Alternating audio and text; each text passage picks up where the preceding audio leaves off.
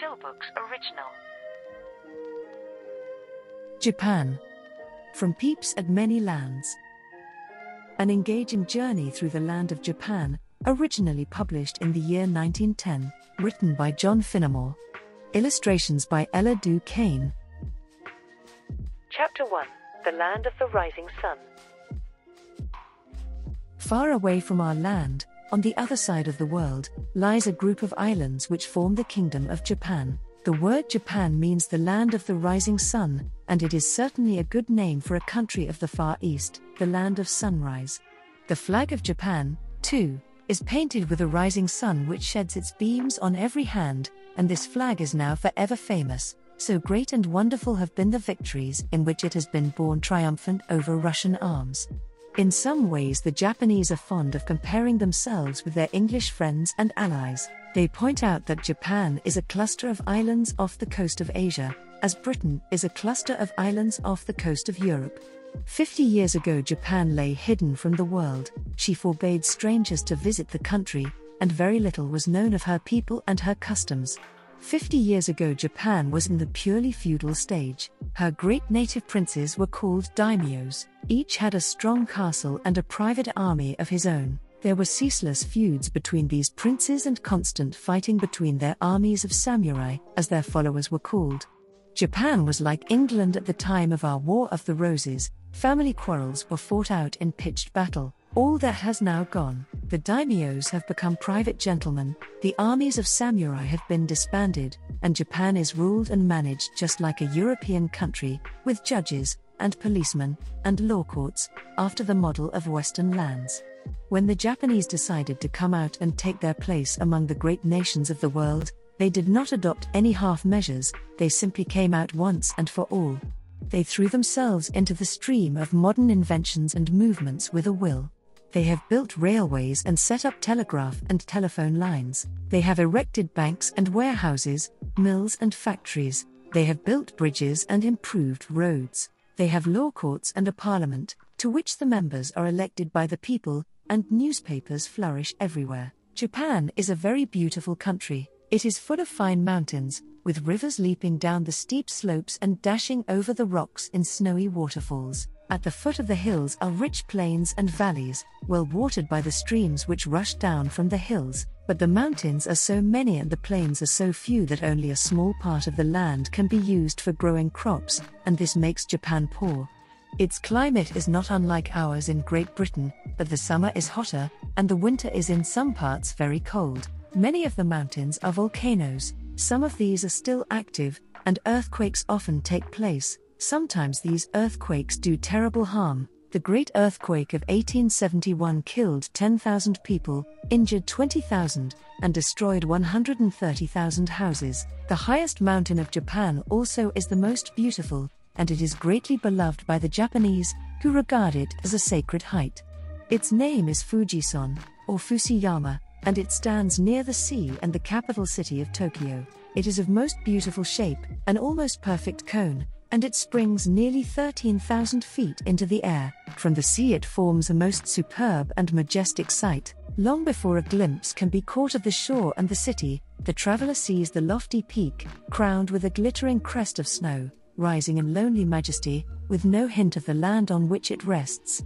The Japanese have a great love of natural beauty, and they adore Fujisan. Their artists are never tired of painting it, and pictures of it are to be found in the most distant parts of the land. Chapter 2 Boys and Girls in Japan. In no country in the world do children have a happier childhood than in Japan. Their parents are devoted to them, and the children are always good. This seems a great deal to say, but it is quite true. Japanese boys and girls behave as quietly and with as much composure as grown up men and women. From the first moment that it can understand anything, a Japanese baby is taught to control its feelings. If it is in pain or sad, it is not to cry or to pull an ugly face that would not be nice for other people to hear or see. If it is very merry or happy, it is not to laugh too loudly or to make too much noise that would be vulgar. So the Japanese boy or girl grows up very quiet, very gentle, and very polite, with a smile for everything and everybody. While they are little, they have plenty of play and fun when they are not in school. In both towns and villages, the streets are the playground, and here they play ball, or battledore and shuttlecock, or fly kites. Almost every little girl has a baby brother or sister strapped on her back, for babies are never carried in the arms in Japan except by the nurses of very wealthy people. The baby is fastened on its mother's or its sister's shoulders by a shawl, and that serves it for both cot and cradle. The little girl does not lose a single scrap of her play because of the baby. She runs here and there, striking with her battledore, or racing after her friends, and the baby swings to and fro on her shoulders, its little head wobbling from side to side as if it were going to tumble off but it is perfectly content, and either watches the game with its sharp little black eyes, or goes calmly off to sleep. In the form of their dress, both boys and girls appear alike, and, more than that, they are dressed exactly like their parents. There is no child's dress in Japan. The garments are smaller, to fit the small wearers, that is all. The main article of dress is a loose gown, called a kimono. Under the outer kimono is an inner kimono, and the garments are girt about the body with a large sash, called an obi. The obi is the pride of a Japanese girl's heart. If her parents are rich, it will be of shining costly silk or rich brocade or cloth of gold. If her parents are poor, they will make an effort to get her one as handsome as their means will allow. Next to her obi, she prides herself on the ornaments which decorate her black hair fine hairpins, with heads of tortoiseshell or coral or lacquer, and hair combs, all most beautifully carved. A boy's obi is more for practical use, and is not of such splendor as his sister's. When he is very small, his clothes are of yellow, while his sister's are of red. At the age of five, he puts on the hakama, and then he is a very proud boy. The hakama is a kind of trousers made of silk, and is worn by men instead of an under kimono. At five years old, a boy is taken to the temple to thank the gods who have protected him thus far, and as he struts along, and hears with joy his hakama rustling its stiff new silk beneath his kimono, he feels himself a man indeed, and that his babyhood of yesterday is left far behind. Upon the feet are worn the tabi thick white socks, which may be called foot gloves, for there are separate divisions for the toes. These serve both as stockings outside the house and slippers inside, for no boots are worn in a Japanese house. When a Japanese walks out, he slips his feet into high wooden clogs, and when he comes home, he kicks off the clogs at the door and enters his home in tabi alone. The reason for this we shall hear later on.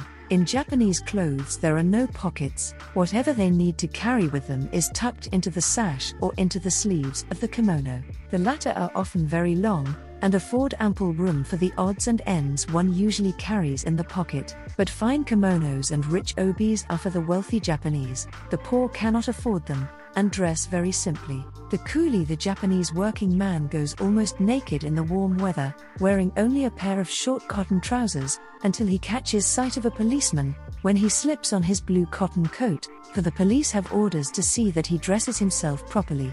His wife wears a cotton kimono, and the pair of them can dress themselves handsomely for coolies from head to foot for a sum of 45 sen, which, taking the sen at a halfpenny, amounts to 1 s. 10 to 1 slash 2d. In Our Money. Chapter 3 Boys and Girls in Japan, continued. When Japanese boys and girls go to school, they make very low bows to their teacher and draw in the breath with a buzzing sound. This is a sign of deep respect, and the teacher returns their politeness by making low bows to them. Then the children sit down and begin to learn their lessons. Their books are very odd looking affairs to us. Not only are they printed in very large characters, but they seem quite upside down. To find the first page, you turn to the end of the book, and you read it backwards to the front page. Again, you do not read from left to right, as in our fashion, but from right to left. Nor is this all, for the lines do not run across the page, but up and down. Altogether, a Japanese book is at first a very puzzling affair. When the writing lesson comes, the children have no pens, they use brushes instead. They dip their brushes in the ink and paint the words one under the other, beginning at the top right hand corner and finishing at the bottom left hand corner. If they have an address to write on an envelope, they turn that upside down and begin with the name of the country and finish with the name of the person England, London, Kensington Gardens, Brown John Mr. But Japanese children have quite as many things to learn at home as at school. At school, they learn arithmetic, geography, history, and so on, just as children do in England, but their manners and their conduct towards other people are carefully drilled into them by their parents. The art of behaving yourself towards others is by no means an easy thing to learn in Japan. It is not merely a matter of good feeling, gentleness, and politeness, as we understand it, but there is a whole complicated system of behavior, how many bows to make, and how they should be made. There are different forms of salutation to superiors, equals, and inferiors. Different ranks of life have their own ways of performing certain actions, and it is said that a girl's rank may easily be known merely by the way in which she hands a cup of tea to a guest.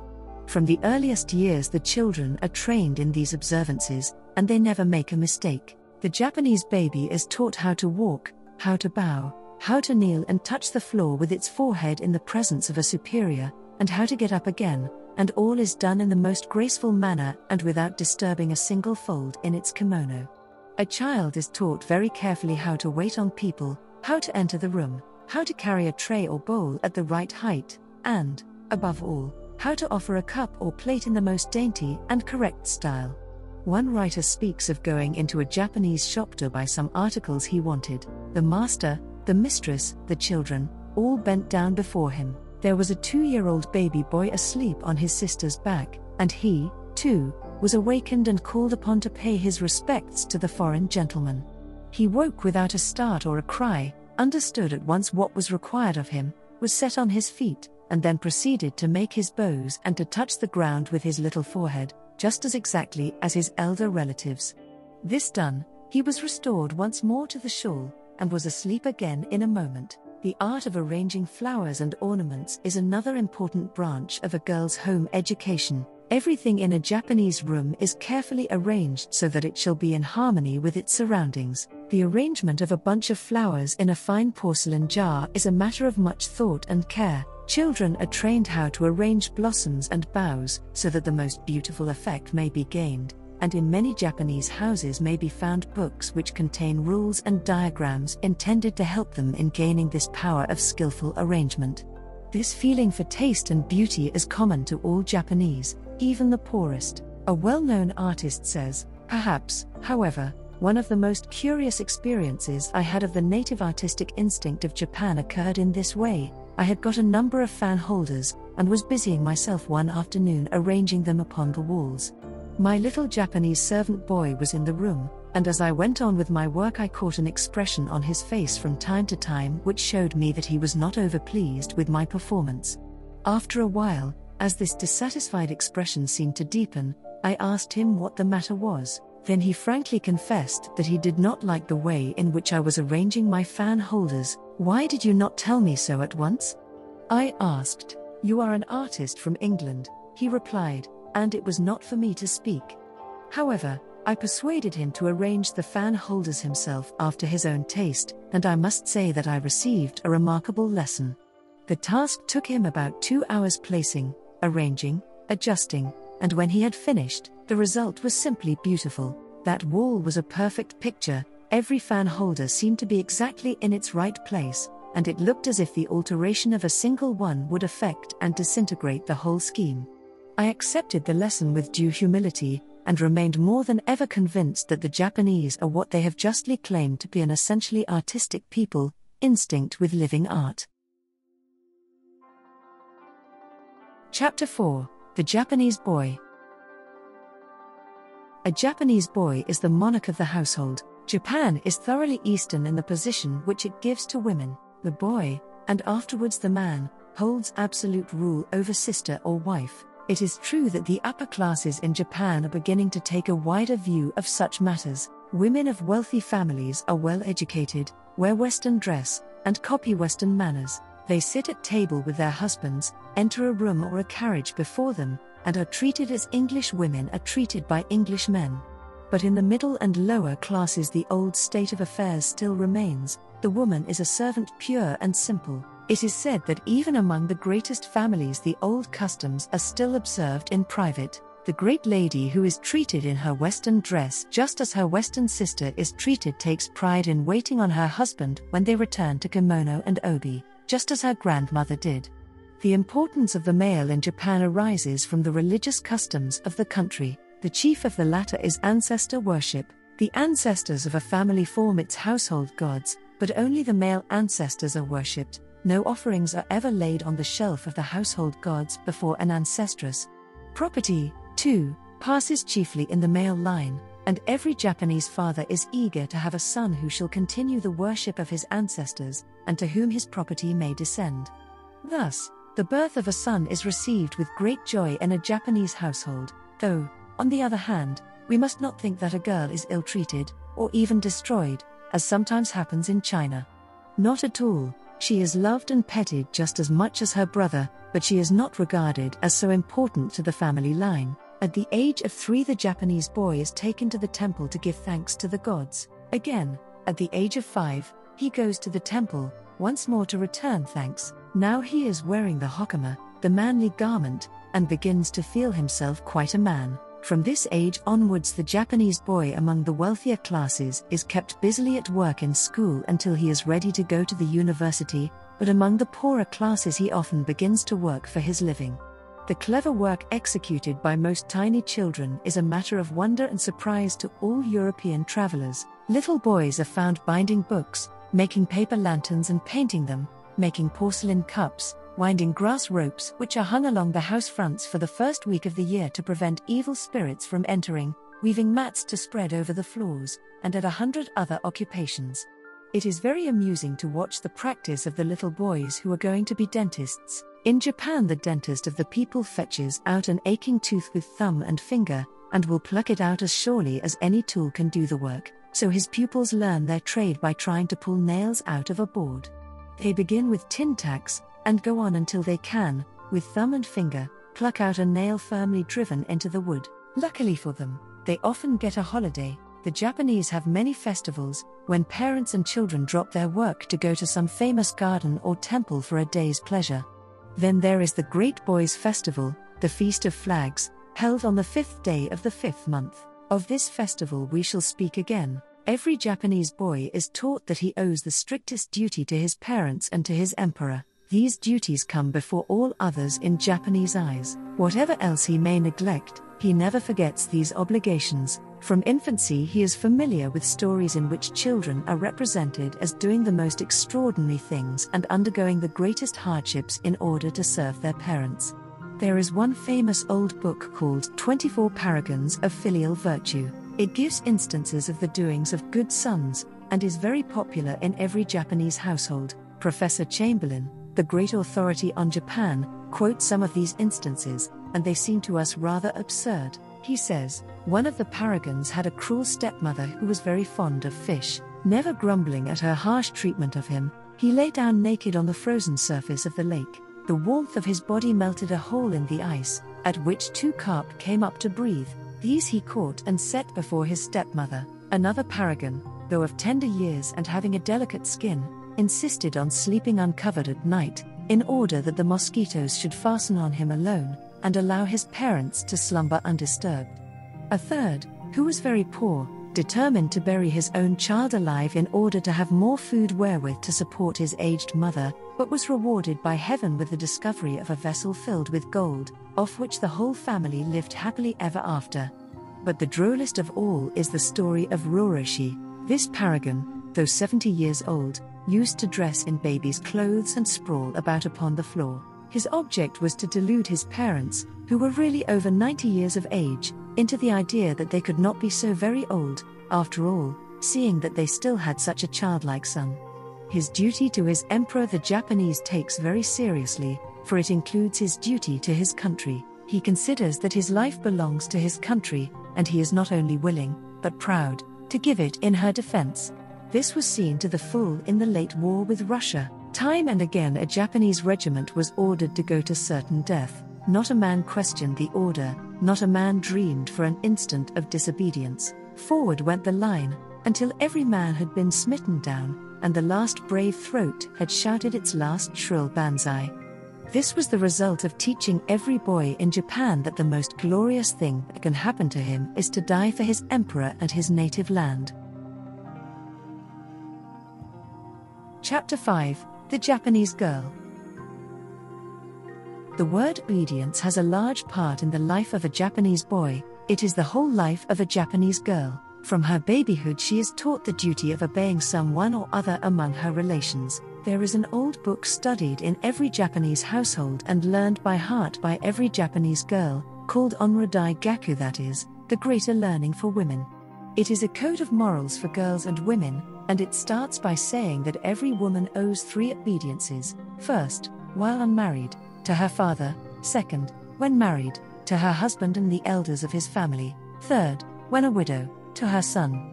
Up to the age of three, the Japanese girl baby has her head shaved in various fancy patterns, but after three years old, the hair is allowed to grow to its natural length. Up to the age of seven, she wears a narrow obi of soft silk, the sash of infancy, but at seven years old, she puts on the stiff wide obi, tied with a huge bow, and her dress from that moment is womanly in every detail. She is now a musume, or musum, the Japanese girl, one of the merriest, brightest little creatures in the world. She is never big, for when at her full height she will be about 4 feet 8 inches tall, and a Japanese woman of 5 feet high is a giantess. This is her time to wear gay, bright colors, for as a married woman she must dress very soberly. A party of musums tripping along to a feast or a fair looks like a bed of brilliant flowers set in motion. They wear kimonos of rich silks and bright shades, kimonos of vermilion and gold, of pink, of blue, of white, decorated with lovely designs of apple blossom, of silk crepe in luminous greens and golden browns, every shade of the rainbow being employed, but all in harmony and perfect taste. If a shower comes on and they tuck up their gaily colored and embroidered kimonos, they look like a bed of poppies, for each shows a glowing scarlet under kimono, or petticoat. Not only is this the time for the Japanese girl to be gaily dressed, but it is her time to visit fairs and temples, and to enjoy the gaieties which may fall in her way, for when she marries, the gates which lead to the ways of pleasure are closed against her for a long time. The duties of a Japanese wife keep her strictly at home, until the golden day dawns when her son marries and she has a daughter in law upon whom she may thrust all the cares of the household. Then once more she can go to temples and theatres, fairs and festivals, while another drudges in her stead. Marriage is early in Japan. A girl marries at 16 or 17, and to be unmarried at 20 is accounted a great misfortune. At marriage, she completely severs herself from her own relations and joins her husband's household. This is shown in a very striking fashion by the bride wearing a white kimono, the color of mourning, and more. When she has left her father's house, fires of purification are lighted, just as if a dead body had been borne to the grave. This is to signify that henceforward the bride is dead to her old home, and her whole life must now be spent in the service of her husband and his relations. The wedding rites are very simple, there is no public function, as in England, and no religious ceremony. The chief feature is that the bride and bridegroom drink three times in turn from three cups, each cup having two spouts. These cups are filled with sake, the national strong drink of Japan, a kind of beer made from rice. This drinking is supposed to typify that henceforth they will share each other's joys and sorrows, and this sipping of sake constitutes the marriage ceremony. The young wife now must bid farewell to her fine clothes and her merry making. She wears garments of a soft of color, or greys or fawns, quiet shades, but often of great charm. She has now to rise first in the morning, to open the shutters which have closed the house for the night, for this is a duty she may not leave to the servants. If her husband's father and mother dwell in the same house, she must consider it an honor to supply all their wants, and she is expected to become a perfect slave to her mother in law. It is not uncommon for a meek little wife, who has obeyed everyone, to become a perfect tyrant as a mother in law, ordering her son's wife right and left, and making the younger woman's life a sheer misery. The mother in law has escaped from the land of bondage. It is no longer her duty to rise at dawn and open the house, she can lie in bed and be waited upon by the young wife. She is free to go here and there, and she does not let her chances slip, she begins once more to thoroughly enjoy life. It may be doubted, however, whether these conditions will hold their own against the flood of Western customs and Western views which has begun to flow into Japan. At present, the deeply seated ideas which rule home life are but little shaken in the main, but it is very likely that the modern Japanese girl will revolt against this spending of the best years of her life as an upper and unpaid servant to her husband's friends and relations. But at the present moment, for great sections of Japanese society, the old ways still stand, and stand firmly. It was formerly the custom for a woman to make herself as ugly as possible when she was married. This was to show that she wished to draw no attention from anyone outside her own home. As a rule, she blackened her teeth, which gave her a hideous appearance when she smiled. This custom is now dying out, though plenty of women with blackened teeth are still to be seen. Should a Japanese wife become a widow, she is expected to show her grief by her desolate appearance. She shaves her head, and wears garments of the most mournful look. It has been said that a Japanese girl has the look of a bird of paradise, the Japanese wife of a dove, and the Japanese widow of a crow. Chapter 6 In the House A Japanese house is one of the simplest buildings in the world. Its main features are the roof of tiles or thatch, and the posts which support the latter. By day, the walls are of oiled paper, by night, they are formed of wooden shutters, neither very thick nor very strong. As a rule, the house is of but one story, and its flimsiness comes from two reasons, both very good ones. The first is that Japan is a home of earthquakes, and when an earthquake starts to rock the land and topple the houses about the people's ears, then a tall, strong house of stone or brick would be both dangerous in its fall and very expensive to put up again. The second is that Japan is a land of fires, the people are very careless, they use cheap lamps and still cheaper petroleum. A lamp explodes or gets knocked over, the oiled paper walls burst into a blaze, the blaze spreads right and left, and sweeps away a few streets, or a suburb of a city, or a whole village. The Jap takes this very calmly, he gets a few posts, puts the same tiles up again for a roof, or makes a new thatch, and, with a few paper screens and shutters, there stands his house again. A house among the poorer sort of Japanese consists of one large room in the daytime. At night, it is formed into as many bedrooms as its owner requires. Along the floor, which is raised about a foot from the ground, and along the roof run a number of grooves, lengthways and crossways. Frames covered with paper, called shoji, slide along these grooves and form the wall between chamber and chamber. The front of the house is, as a rule, open to the street, but if the owners wish for privacy, they slide a paper screen into position. At night, wooden shutters, called amado, cover the screens. Each shutter is held in place by the next, and the last shutter is fastened by a wooden bolt. The Japanese are very fond of fresh air and sunshine. Unless the day is too wet or stormy, the front of the house always stands open. If the sun is too strong, a curtain is hung across for shade, and very often this curtain bears a huge white symbol representing his name, just as an Englishman puts his name on a brass plate on his front door. The furniture in these houses is very simple, the floor is covered with thick mats, which serve for chairs and bed, as people both sit and sleep on them. For table a low stool suffices, and for a young couple to set up housekeeping in Japan is a very simple matter, as Mrs. Bishop, the well known writer, remarks. Among the strong reasons for deprecating the adoption of foreign houses, furniture, and modes of living by the Japanese is that the expense of living would be so largely increased as to render early marriages impossible. At present, the requirements of a young couple in the poorer classes are a bare matted room, capable or not of division, two wooden pillows, a few cotton futons, quilts, and a sliding panel, behind which to conceal them in the daytime, a wooden rice bucket and ladle, a wooden wash bowl, an iron kettle, a hibachi, warming and cooking stove, a tray or two, a teapot or two, two lacquer rice bowls, a dinner box, a few china cups, a few towels, a bamboo switch for sweeping, a tobacco bon, apparatus for tobacco smoking, an iron pot, and a few shelves let into a recess, all of which can be purchased for something under £2. These young people would, however, have everything quite comfortable about them, and housekeeping can be set up at a still lower figure, if necessary. Excellent authorities say, and give particulars to prove, that a coolie household may be established in full running order for 5 half yen, that is, somewhere about a sovereign. In better class houses, the same simplicity prevails, though the building may be of costly materials, with posts and ceilings of ebony inlaid with gold, and floors of rare polished woods. The screens, shoji, still separate the rooms, the shutters, amado, enclose it at night. There are neither doors nor passages. When you wish to pass from one room to the next, you slide back one of the shoji and shut it after you. So you go from room to room until you reach the one of which you are in search. The shoji are often beautifully painted, and in each room is hung a kakemono, a wall picture, a painting finely executed on a strip of silk.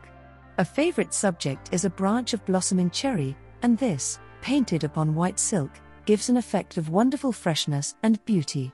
There is no chimney, for a Japanese house knows nothing of a fireplace. The simple cooking is done over a stove burning charcoal, the fumes of which wander through the house and disperse through the hundred openings afforded by the loosely fitting paper walls.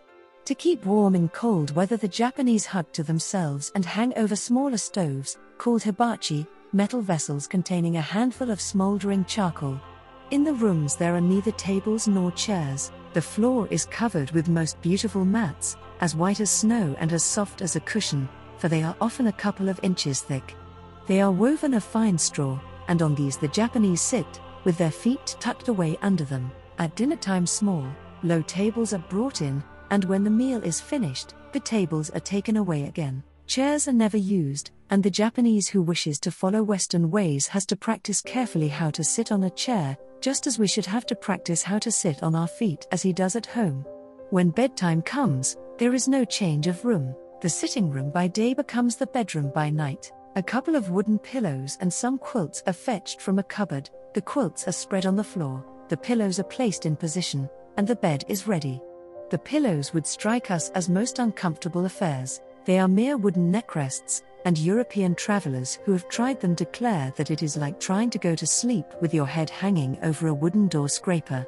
As they both sit and sleep on their matting covered floors, we now see why the Japanese never wear any boots or clogs in the house. To do so would make their beautiful and spotless mats dirty, so all shoes are left at the door, and they walk about the house in the tabi, the thick glove like socks. In the house, continued.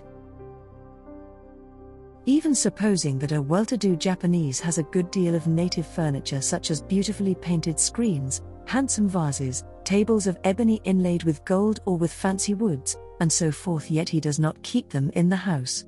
He stores them away in a special building, and a servant runs and fetches whatever may be wanted. When the article has served its purpose, it is taken back again. This building is called a godown. It is built of cement, is painted black, and bears the owner's monogram in a huge white design. It is considered to be fireproof, though it is not always so, and is meant to preserve the family treasures in case of one of the frequent fires. It may be stored with a great variety of furniture and ornaments, but very few see the light at one time. The Japanese does not fill his house with all the decorations he may own, and live with them constantly. If he has a number of beautiful porcelain jars and vases, he has one out at one time, another at another. A certain vase goes with a certain screen, and every time a change is made, the daughters of the house receive new lessons in the art of placing the articles and decking them with flowers and boughs of blossom in order to gain the most beautiful effect. If a visitor be present in the house, the guest chamber will be decorated afresh every day, each design showing some new and unexpected beauty in screen, or flower decked vase, or painted kakemono. There is one vase which is always carefully supplied with freshly cut boughs or flowers. This is the vase which stands before the tokonoma. The tokonoma is a very quaint feature of a Japanese house. It means a place in which to lay a bed, and, in theory, is a guest chamber in which to lodge the Mikado, the Japanese emperor. So loyal are the Japanese that every house is supposed to contain a room ready for the emperor in case he should stay at the door and need a night's lodging. The emperor, of course, never comes, and so the tokonoma is no more than a name. Usually it is a recess a few feet long and a few inches wide, and over it hangs the finest kakemono that the house can afford, and in front of it is a vase whose flowers are arranged in a traditional form which has a certain allegorical meaning. At night, a Japanese room is lighted by a candle fixed in a large square paper lantern, the latter placed on a lacquer stand. The light is very dim, and many are now replacing it with ordinary European lamps. Unluckily, they buy the very commonest and cheapest of these, and so in consequence, accidents and fires are numerous. Among the coolies of Japan, the people who fill the back streets of the large towns with long rows of tiny houses, the process of moving house is absolutely literal. They do not merely carry off their furniture that would be simple enough, but they swing up the house too, carry it off, set their furniture in it again, and resume their contented family life. It is not at all an uncommon thing to meet a pair thus engaged in shifting their abode. The man is marching along with a building of lath and paper, not much bigger than a bathing machine, swung on his shoulders, while his wife trudges behind him with two or three big bundles tied up in blue cloth. He carries the house, and she the furniture. Within a few hours, they will be comfortably settled in the new street which their needs or their fancies call them. Chapter 8 A Japanese Day The first person astir in a Japanese household is the mistress of the house. She rises from the quilts on the floor which form her bed and puts out the lamp, which has been burning all night. No Japanese sleeps without an andon, a tall paper lamp, in which a dim light burns. Next, she unlocks the amado, the wooden shutters, and calls the servants. Now the breakfast table must be set out. In one way, this is very simple, for there is no cloth to spread, for tablecloths are unknown, and when enough rice has been boiled and enough tea has been made, the breakfast is ready. But there is one point upon which she must be very careful. The lacquer rice bowls and the chopsticks must be set in their proper order, according to the importance of each person in the family. The slightest mistake in arranging the position at a meal of any member of the family or of a guest under the roof would be a matter of the deepest disgrace. Etiquette is the tyrant of Japan. A slip in the manner of serving the food is a thousand times more important in Japanese eyes than the quality of the food itself. A hostess might serve burned rice and the most shocking tea, but if it were handed round in correct form, there would be nothing more to be said but to serve a twice honorable guest before a thrice honorable guest are. That would be truly dreadful, a blot never to be wiped off the family escutcheon. After breakfast, the master of the house will go about his business. If the day is fine, the wife has his straw sandals ready for him. If it is wet, she gets his high wooden clogs and his umbrella of oiled paper. Then she and the servants escort him to the door and speed his departure with many low bows, rubbing their knees together. The latter is a sign of deep respect and calling good wishes after him. It may seem odd to us that the servants should accompany their mistress on such an errand, but the servants in Japan are not like other servants, they are as much a part of the family as the children of the house. Domestic service in Japan is a most honorable calling, and ranks far higher than trade a domestic servant who married a tradesman would be considered as going down a step in the social scale. In Japan, trade has been left until lately to the lower classes of the population, and tradespeople have ranked with coolies and laborers. This importance of domestic servants arises from two reasons. First, the old custom which compels the mistress of the house, even if she be of the highest rank, to serve her husband and children herself, and also to wait on her parents in law, has the effect of raising domestic service to a high and honorable level. Second, many Japanese servants are of good birth and excellent family. Only a generation ago, their fathers were samurai, followers of some great prince, a daimyo, and members of his clan. In the feudal days of Japan, so recently past, the position of the samurai was exactly the same as the clansman of a highland chief, say at the time of the 45. The daimyo, the Japanese chief, had a great estate and vast revenues, counted in measures of rice. One daimyo had as much as 1 million koku of rice, the koku being a weight of about 132 pounds. But out of these revenues, he had to maintain his clan, his samurai, the members of his private army. The samurai clansmen were the exact counterparts of Highlanders. The poorest considered himself a gentleman and a member of his chief's family. He held trade and handicrafts in the utmost disdain, he lived only for war and the defense of his lord. But he regarded service in his lord's household as a high honor, and thus all service was made honorable. When the feudal system came to an end, when the daimyos retired into private life, and the samurai were disbanded, then the latter and their families found that they must work for their own support, and great numbers entered domestic service. Boys and girls who are meant for servants have to go through a course of training in etiquette, quite apart from the training they receive in their duties. This training is intended to maintain the proper distance between employer and servant, while, in a sense, allowing them to be perfectly familiar. The Japanese servant bows low and kneels to her mistress, and addresses her always in the tone of voice used by an inferior to a superior, yet she will join in a conversation between her mistress and a caller, and laugh with the rest at any joke which is made.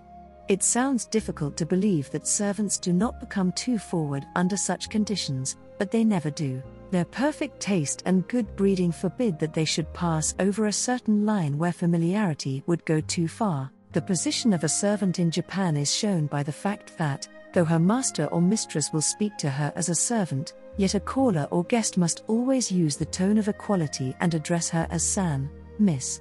In the absence of the mistress, servants are expected to entertain any callers, and they do this with the perfection of gentle manners and exquisite politeness. A lady writer says, I remember once being very much at sea when I was taken to pay a call on a Japanese lady of the well to do class. Not being able to speak a word of the language, I was unable to follow the conversation which took place between the charming little lady who greeted us at the inner shutters and my friend. She was dressed in the soft grey kimono and obi of a middle aged woman, and her exquisite manner and gentleness made me feel as heavy as my boots, which I had not been allowed to take off, sounded on the delicate floor matting compared to her soft white foot gloves.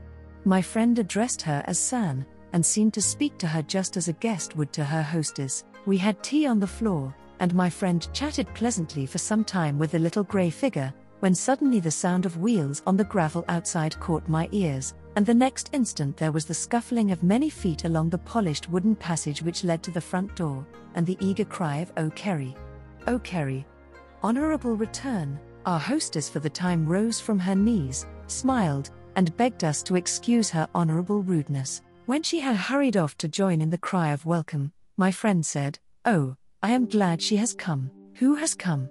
I asked. The lady we came to see, she said. Then, who was the charming little lady who poured out tea for us? I asked. My friend smiled. Oh, that was only the housemaid. A man dealing with the same point remarks, it is very important that a Japanese upper servant should have good manners, for he is expected to have sufficient knowledge of etiquette to entertain his master's guests if his master is out. After rubbing his knees together and hissing and kowtowing, bowing low, he will invite you to take a seat on the floor, or, more correctly speaking, on your heels, with a flat cushion between your knees and the floor to make the ordeal a little less painful. He will then offer you five cups of tea, it is the number of cups that signifies, not the number of callers, and dropping on his own heels with ease and grace, enter into an affable conversation, humble to a degree, but perfectly familiar, until his master arrives to relieve him. Even after his master has arrived, he may stay in the room, and is quite likely to cut into the conversation, and dead certain to laugh at the smallest apology for a joke. Chapter 9 A Japanese Day Continued.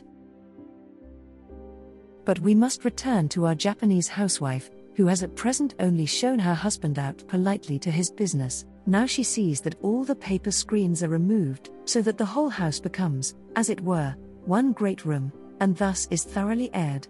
The beds are rolled up and put away in cupboards, and the woodwork is carefully rubbed down and polished. Perhaps the flowers in the vases are faded, and it is a long and elaborate performance to rearrange the beautiful sprays and the blossoms brought in from the garden. Cooking is not by any means so important a matter in her household life as it is in that of her Western sister. If her rice box is well filled, her tea caddy well stored, her pickle jar and store of vegetables in good order, she has little more to think about. Rice is the staple food of Japan, and is eaten at every meal by rich or poor, taking the place of our bread. It is of particularly fine quality, and at meals is brought in small bright looking tubs kept for this exclusive purpose and scrupulously clean. It is then helped each individual in small quantities, and steaming hot. The humblest meal is served with nicety, and with the rice various tasty condiments, such as pickles, salted fish, and numerous other dainty little appetizers, are eaten. To moisten the meal, tea without sugar is taken. A hibachi, or charcoal basin, generally occupies the central position, round which the meal is enjoyed, and on the fire of which the teapot is always kept easily boiling. When the Japanese housekeeper goes to market, she turns her attention, after the rice merchants, to the fish and vegetable stalls.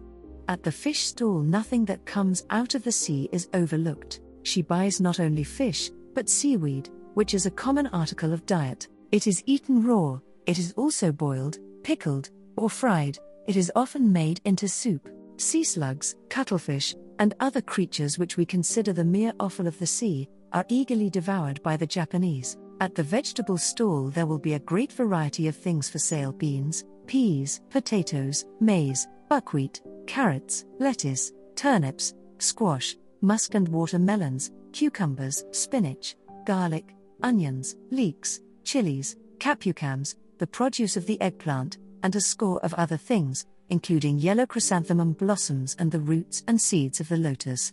The Japanese eat almost everything that grows, for they delight in dock and ferns, in wild ginger and bamboo shoots, and consider the last a great tidbit.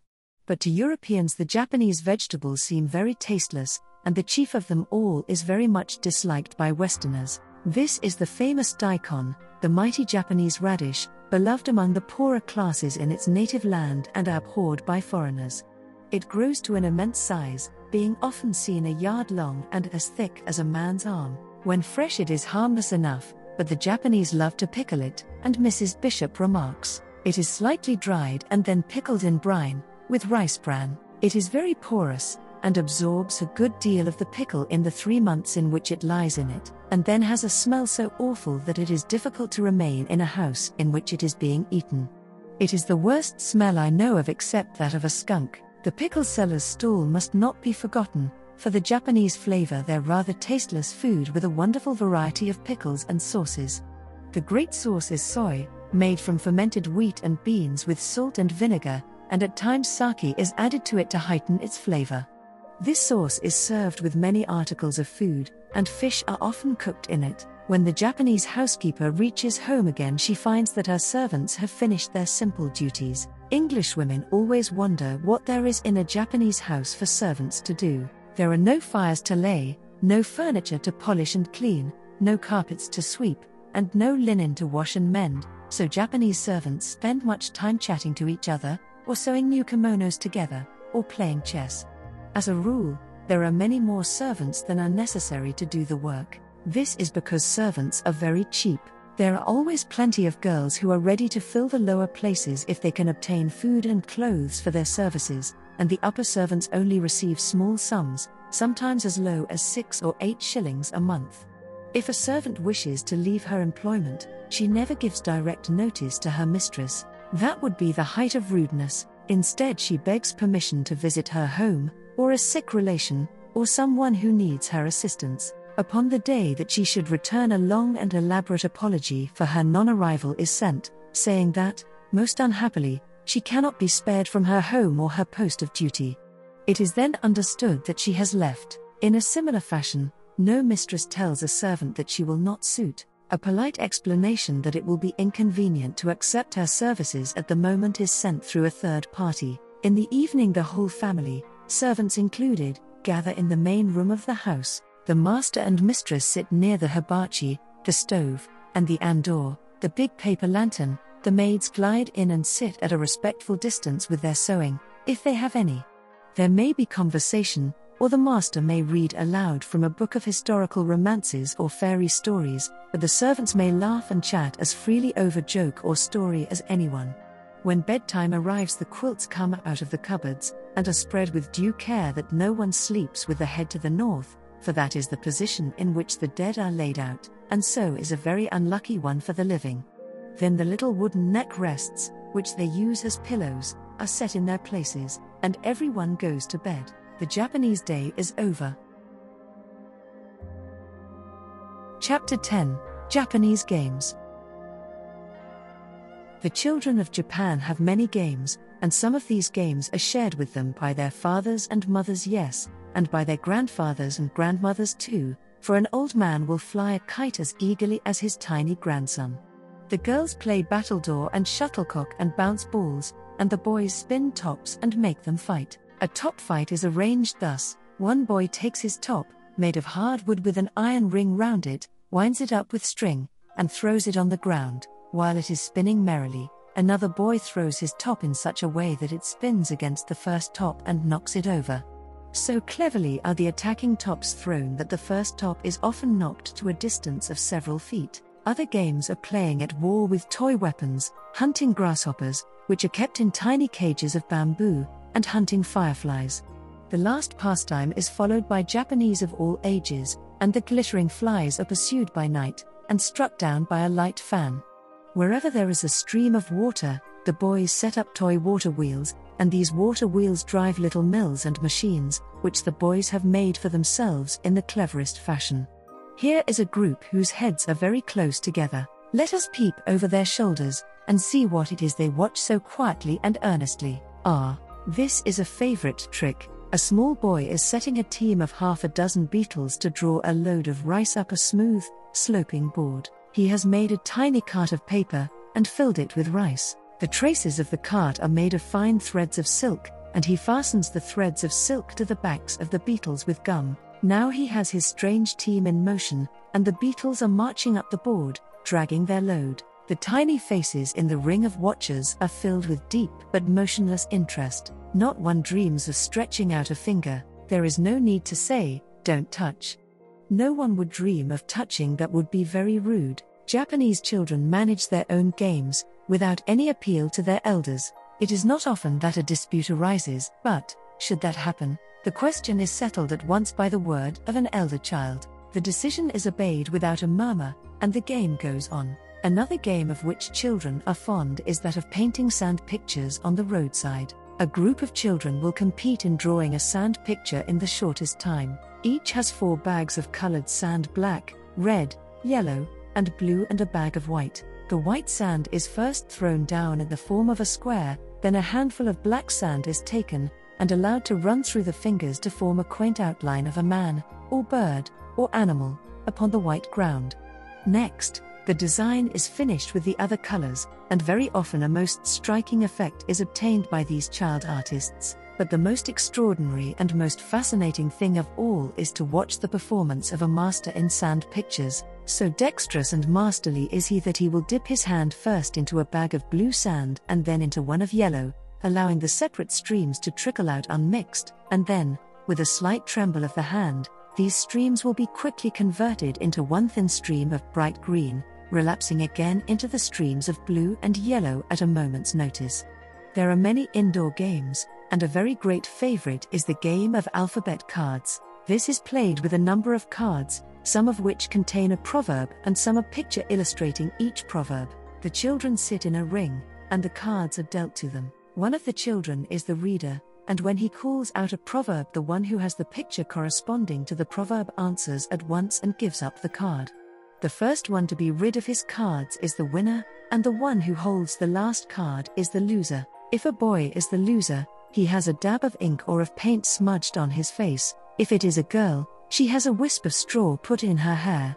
The game is so called because each proverb begins with a letter of the Japanese alphabet. Japanese children have many holidays and festivals, and they enjoy themselves very much on these joyous occasions. With their beautiful dresses of silk shining in the sun, a crowd of them looks like a great bed of flowers. Mr. Ment speaks of a merry making which he saw. It was a festival for girls under 10, and there were hundreds of children, all with their kimonos tucked up, showing their scarlet petticoats, and looking for all the world like a mass of poppies. Two rows or armies of these girls were placed several yards distant from each other in this long emerald green field, and in the space between them stood two servants, each holding a long bamboo pole, and suspending from its top a flat, shallow drum, covered with tissue paper. Presently, two young men teachers appeared on the scene, carrying two baskets of small, many colored balls, which they threw down on the grass between the children and the drums. Then a signal was given, and all the girls started running down the field at full tilt towards one another, pouncing on the balls as they ran, and throwing them with all their force up at the paper drums. After a time, when a perfect shower of balls had passed through the tissue drums, quite demolishing them, a shower of colored papers, miniature lanterns, paper umbrellas, and flags came slowly fluttering down among the children onto their jet black bobbing heads and into their eager outstretched hands. Never have I seen anything more beautiful than these gay, brightly clad little people, packed closely together like a cluster of flowers in the brilliant sparkling sunshine, with their pretty upturned faces watching the softly falling rain of colored toys. Chapter 11 The Feast of Dolls and the Feast of Flags. On the third day of the third month, there is great excitement in every Japanese household which numbers a girl among its domestic treasures, for the Feast of Dolls has come, the great festival for dolls. On this day, the most beautiful dolls and dolls' houses are fetched from the godown, where the family furniture is kept, and are on exhibition for a short time, set out on shelves covered with scarlet cloth. These dolls are the ohina, the honorable dolls, they are kept with the greatest care and in some families there are dolls which are centuries old, as each doll is dressed exactly in the costume of its age, and is furnished with belongings which represent in miniature the furniture of that age. Such a collection has great historic value, and is used to teach the children how their ancestors looked and lived. There are common dolls for the little girls to play with every day, but these elaborate ones, the honorable dolls, are stored with the greatest care. Many of them are very costly, the doll is not only beautifully made and dressed, but its house is furnished with the most exact imitations of every article of furniture and of every utensil. In wealthy families, this toy furniture is made of the rarest gold lacquer, or of solid silver, or of beautiful porcelain. Not a single article, either of state or of usefulness, is missing, and it is the delight of a Japanese girl at the Feast of Dolls to use the tiny utensils of her toy kitchen to prepare an elaborate feast of real food which is set before her honorable dolls. The beginning of a collection of such dolls is made as soon as a girl is born. Every girl child is presented with a pair of these dolls, and as time goes on, she gathers all the articles which go with them. These dolls are always her own, when she marries, she takes them to her new home. When the Ohina Matsuri, the Feast of Dolls, draws near, the Japanese shops begin to be full of the little images used at that time. The poorer are of painted earthenware, the finer are of wood, with clothes of the richest materials. These images, together with tiny bowls and pots, and stoves and trays, are used to set off and decorate the surroundings of the Feast of Dolls. They vary very greatly in price. The coolie household may have a set out which cost a few pence. The ohina of a great noble's house will often be worth a fortune, having hundreds of beautifully carved and dressed images to represent the emperor and empress and every official of the Japanese court, with every article used for state functions, and every piece of furniture needed to deck a royal palace. Other sets of ohina represent great personages in Japanese history, perhaps a great daimyo and his followers, each figure dressed with strict historical accuracy, and provided with every feature proper to its rank and period. The great festival for boys comes at the Feast of Flags. This is held on the fifth day of the fifth month. Everyone knows when the Feast of Flags is near, for before every house where there are boys, a tall post of bamboo is set up. Swinging from the top of each post is the figure of a huge carp, made of brightly colored paper. If a boy has been born in the house during the year, the carp is made bigger still. The body of the fish is hollow, and when the wind blows into it, it wriggles its fins and tail just like a fish swimming strongly. The Japanese choose the carp because they say it has the power of ascending streams swiftly against the current and of leaping over waterfalls. It is thus supposed to typify a young man breasting the stream of life and thrusting his way through difficulties to success. As the boy's day draws near, the shops become full of toys for them. There are images bought for boys as well as for their sisters, but boys' images are those of soldiers, heroes, generals, famous old warriors, wrestlers, and so forth. The old Japanese were a warlike nation, and the toys provided for their sons at the Feast of Flags were helmets, flags, swords, bows and arrows, coats of mail, spears, and the like. The Feast of Flags itself is held on the day sacred to Hachiman, the Japanese god of war, and the favorite game on that day is a mimic battle. The boys divide themselves into two parties, called Heike and Genji. These names represent two great old rival clans of the feudal days. Every Heike carries a red flag on his back, every Genji a white one. Each combatant also wears a helmet, consisting of a kind of earthenware pot. The combat is joined, and the small warriors hack at each other with bamboo swords. A well directed blow will dash to pieces the earthenware pot, and the wearer is then compelled to own defeat. That side wins which breaks most pots on its opponent's heads, or captures most flags. This display of weapons, with blowing of horns and trumpets, serves another purpose also, for on the fifth day of the fifth month the Japanese believe that Oni, an evil disposed god, comes down from the heavens to devour boys, or to bring great harm to them. But he fears sharp swords, so the long sword shaped blades of the sweet flag are gathered from the edges of rivers and the sides of swampy rice fields, and used as decorations. As a Japanese writer says, Oni fears the sword blade of the sweet flag, so that its leaves are everywhere. They are upon the festal table, they hang in festoons about the house, and all along the eaves. Boys wear them tied around their heads, with the white scraped fragrant roots projecting like two horns from their foreheads. So, and with the noise of bamboo horns, they frighten away the ogre god, for he fears horned men, and he dares not enter a house where so many swords hang from the eaves. Chapter 12 A Farthing's Worth of Fun. How would you like to go to a fair with a farthing, a whole farthing, to spend as you pleased? I think I can see some of you turning your noses up and looking very scornful. A farthing, indeed. You say, pray, of what use is a farthing? I wouldn't mind going to a fair with a shilling, or even sixpence, but what could anyone do with a farthing? Well, in Japan you could do a great deal. We must remember that Japan is a country of tiny wages, many of its workers do not receive more than sixpence a day, and a man who gets a shilling is well off. Tiny earnings mean tiny spendings, and things are arranged on a scale to meet very slender purses. We will now see what sort of time Ohara san, Miss Blossom, and her brother, Taro san, master eldest son, had at the fair one fine day in Nagasaki. In the morning they sprang up from their quilts full of excited pleasure, for they had been looking forward to this fair for some time. But they did not romp and chatter and show their excitement as English children would do. Their black eyes shone a little more brightly than usual, and that was all. When they had whipped their rice into their mouths with their little chopsticks, they started for the fair, which was to be held in the grounds of a great temple.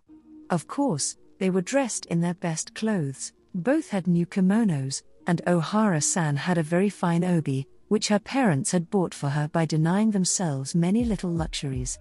Their father and grandmother went with them, but their mother stayed at home with the baby. Their father wore a newly washed kimono, but his chief glory was an old bowler hat which a European gentleman had given to him. It had been much too large for him, but he had neatly taken it in, and now wore it with great pride. When they reached the fair, they gave themselves up to its delights with all their hearts, there was so much to do and so much to see. Almost at once, Ohara san and Taro were beguiled by a sweetmeat stall. Each had five rin, and five rin make one farthing, or rather less, but we will call it a farthing for the sake of round figures. One rin apiece was spent here. The stall was in two divisions, one stocked with delicious little bottles of sugar water, the other with pieces of candy, tinted bright blue and red and green.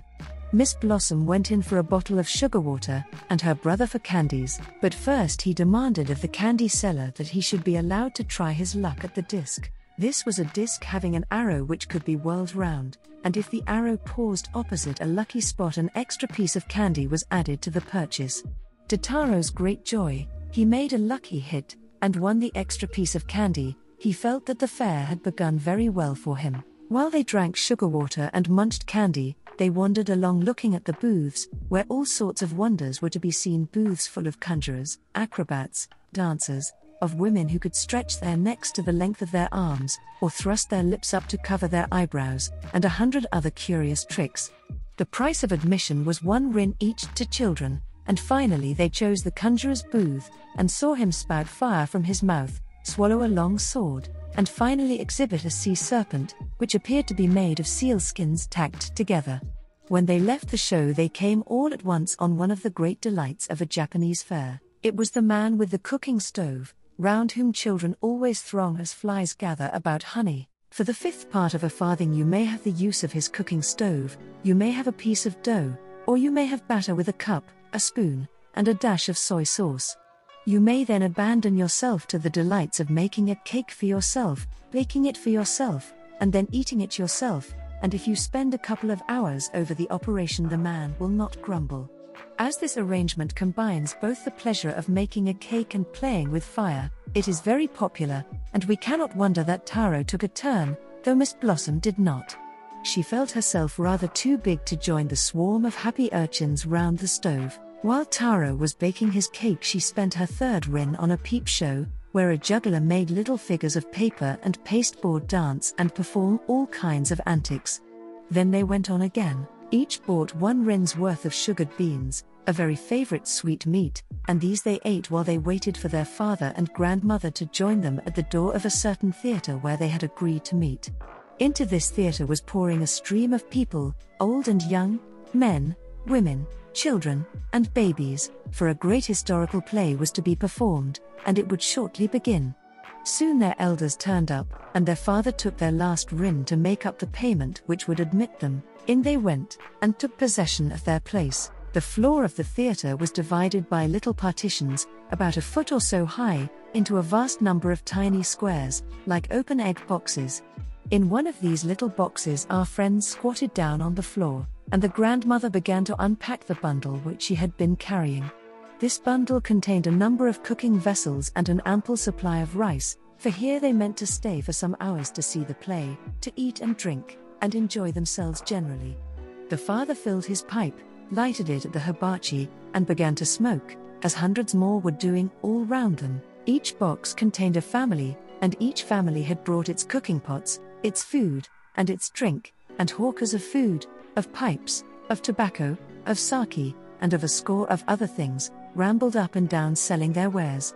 When the play began, everyone paid close attention, for it was a great historical play, and the Japanese go to the theatre and take their children there in order to learn history.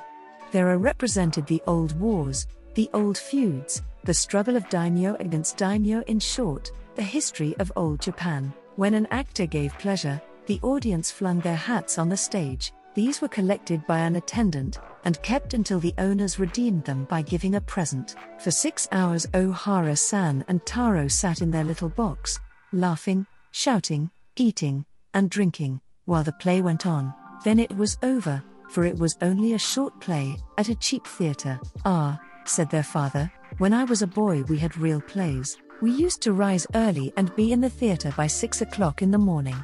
There we would stay enjoying ourselves until 11 at night. But now the decree of the government is that no play shall last more than nine hours. It is too little. The children quite agreed with him as they helped their grandmother to gather the pots and pans and dishes which were scattered about their box. Then each took the wooden ticket which would secure the shoes which they had left outside with the attendants, and went slowly from the theatre. When they had obtained their shoes and put them on, Miss Blossom and Master Eldest Son strolled slowly homewards through the fair. They had not another rin to spend their farthing's worth of fun was over. Chapter 13 Kite Flying About a fortnight after the fair, on a fine windy afternoon, there was a holiday, and Taro, with his father and his younger brother Ito, turned out to fly kites. Some of their neighbors were already at work flying kites from the roofs of the houses or from windows, but our friends wanted more room than that, and went up to a piece of higher ground behind their street. Here they joined a crowd of kite flyers. Everyone was out today with his kite, old and young, men of 60, with yellow, wrinkled faces, down to toddlers of three, who clutched their strings and flew their little kites with as much gravity and staidness as their grandfathers. Before long, Ohara san came up with the baby on her back, and he had a bit of string in his tiny fist and a scrap of a kite not much bigger than a man's hand floating a few yards above his head.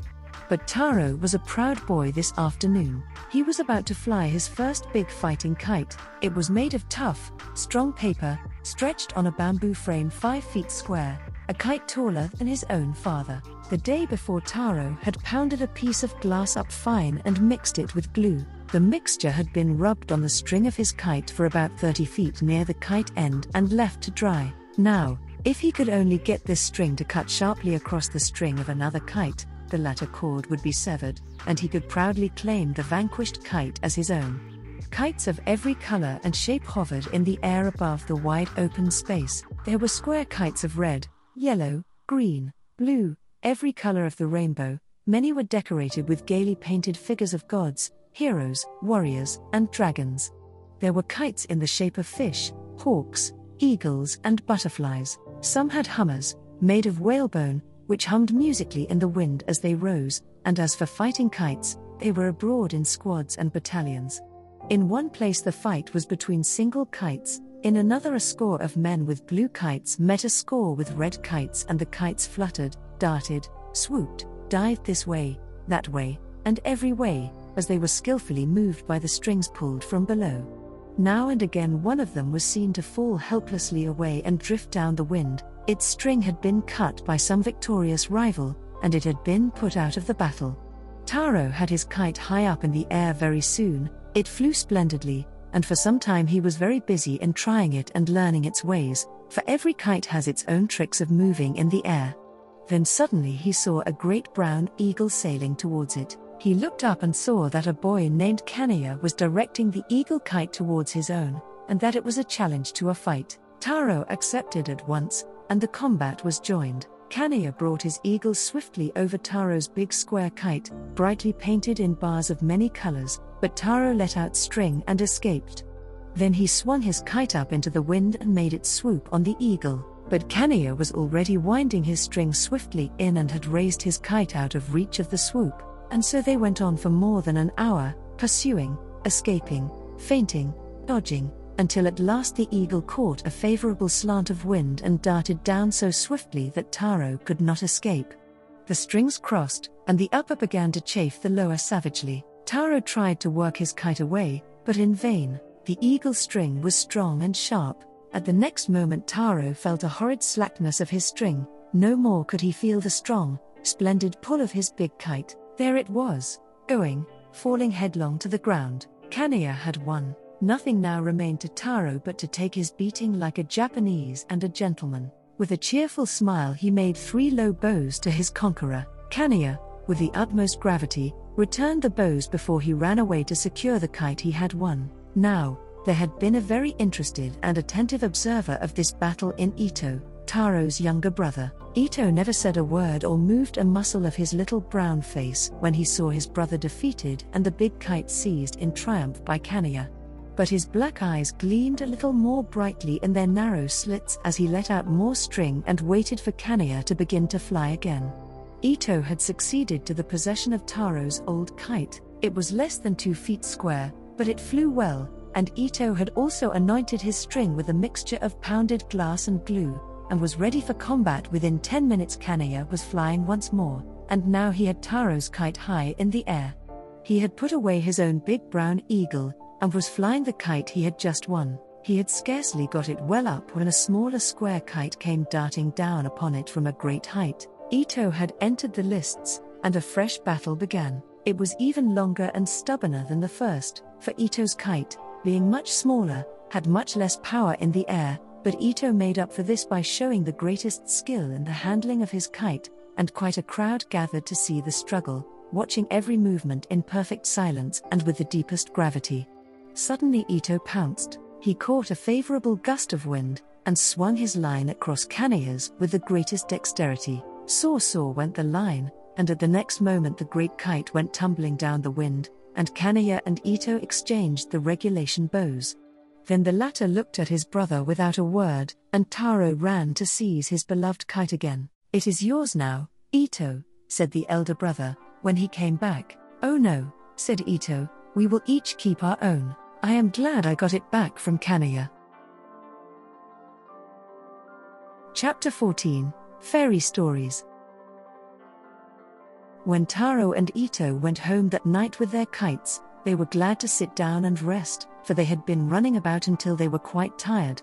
When they had eaten their suppers of rice from their little brown bowls of lacquer, they begged their grandmother to tell them a story, and she told them the famous old story of Momotaro beloved of every child in Japan.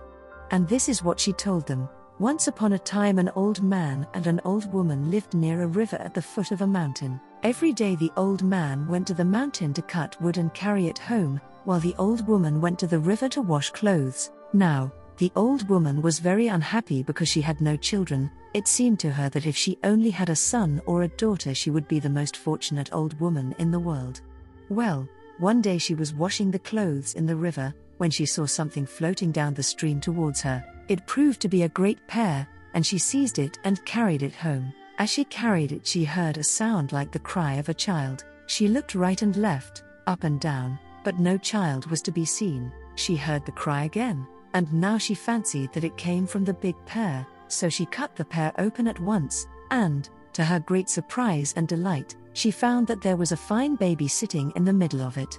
She took the child and brought it up, and because he was born in a pear, she called him Momotaro. Momotaro grew up a strong, fine boy, and when he was 17 years old, he started out to seek his fortune. He had made up his mind to attack an island where lived a very dreadful ogre. The old woman gave him plenty of food to eat on the way corn and rice wrapped in a bamboo leaf, and many other things, and away he went.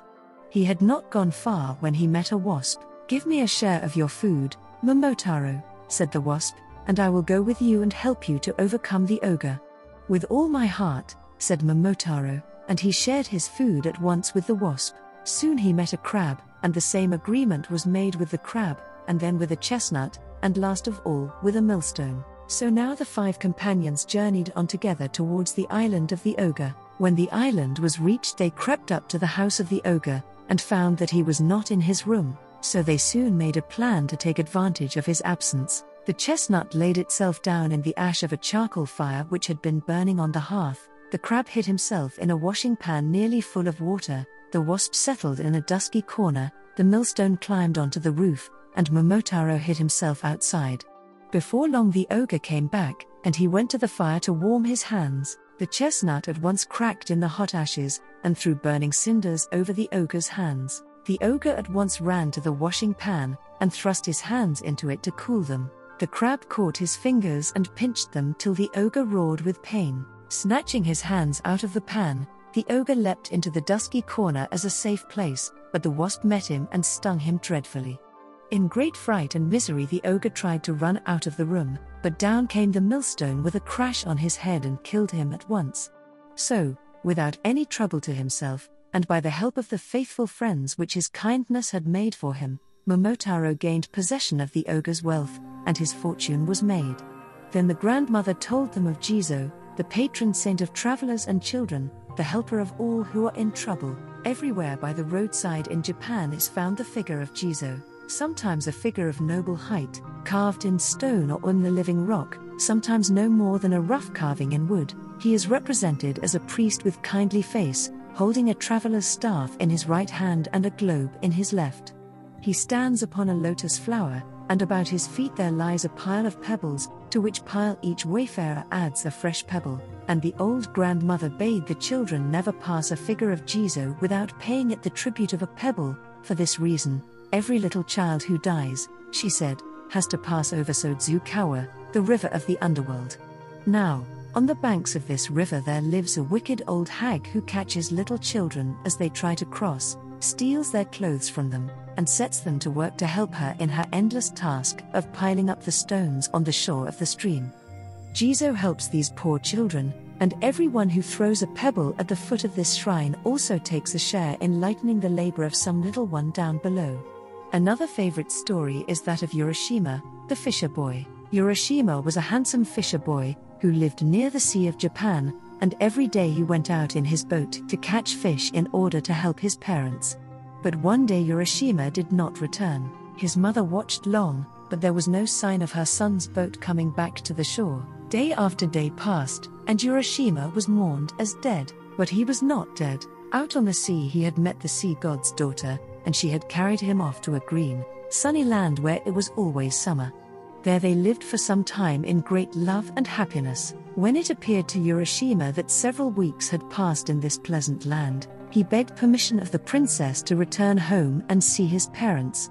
They will be sorrowing for me, he said. They will fear that I am lost and drowned at sea. At last she allowed him to go, and she gave him a casket, but told him to keep it closed. As long as you keep it closed, she said, I shall always be with you, but if you open it, you will lose both me and this sunny summer land forever.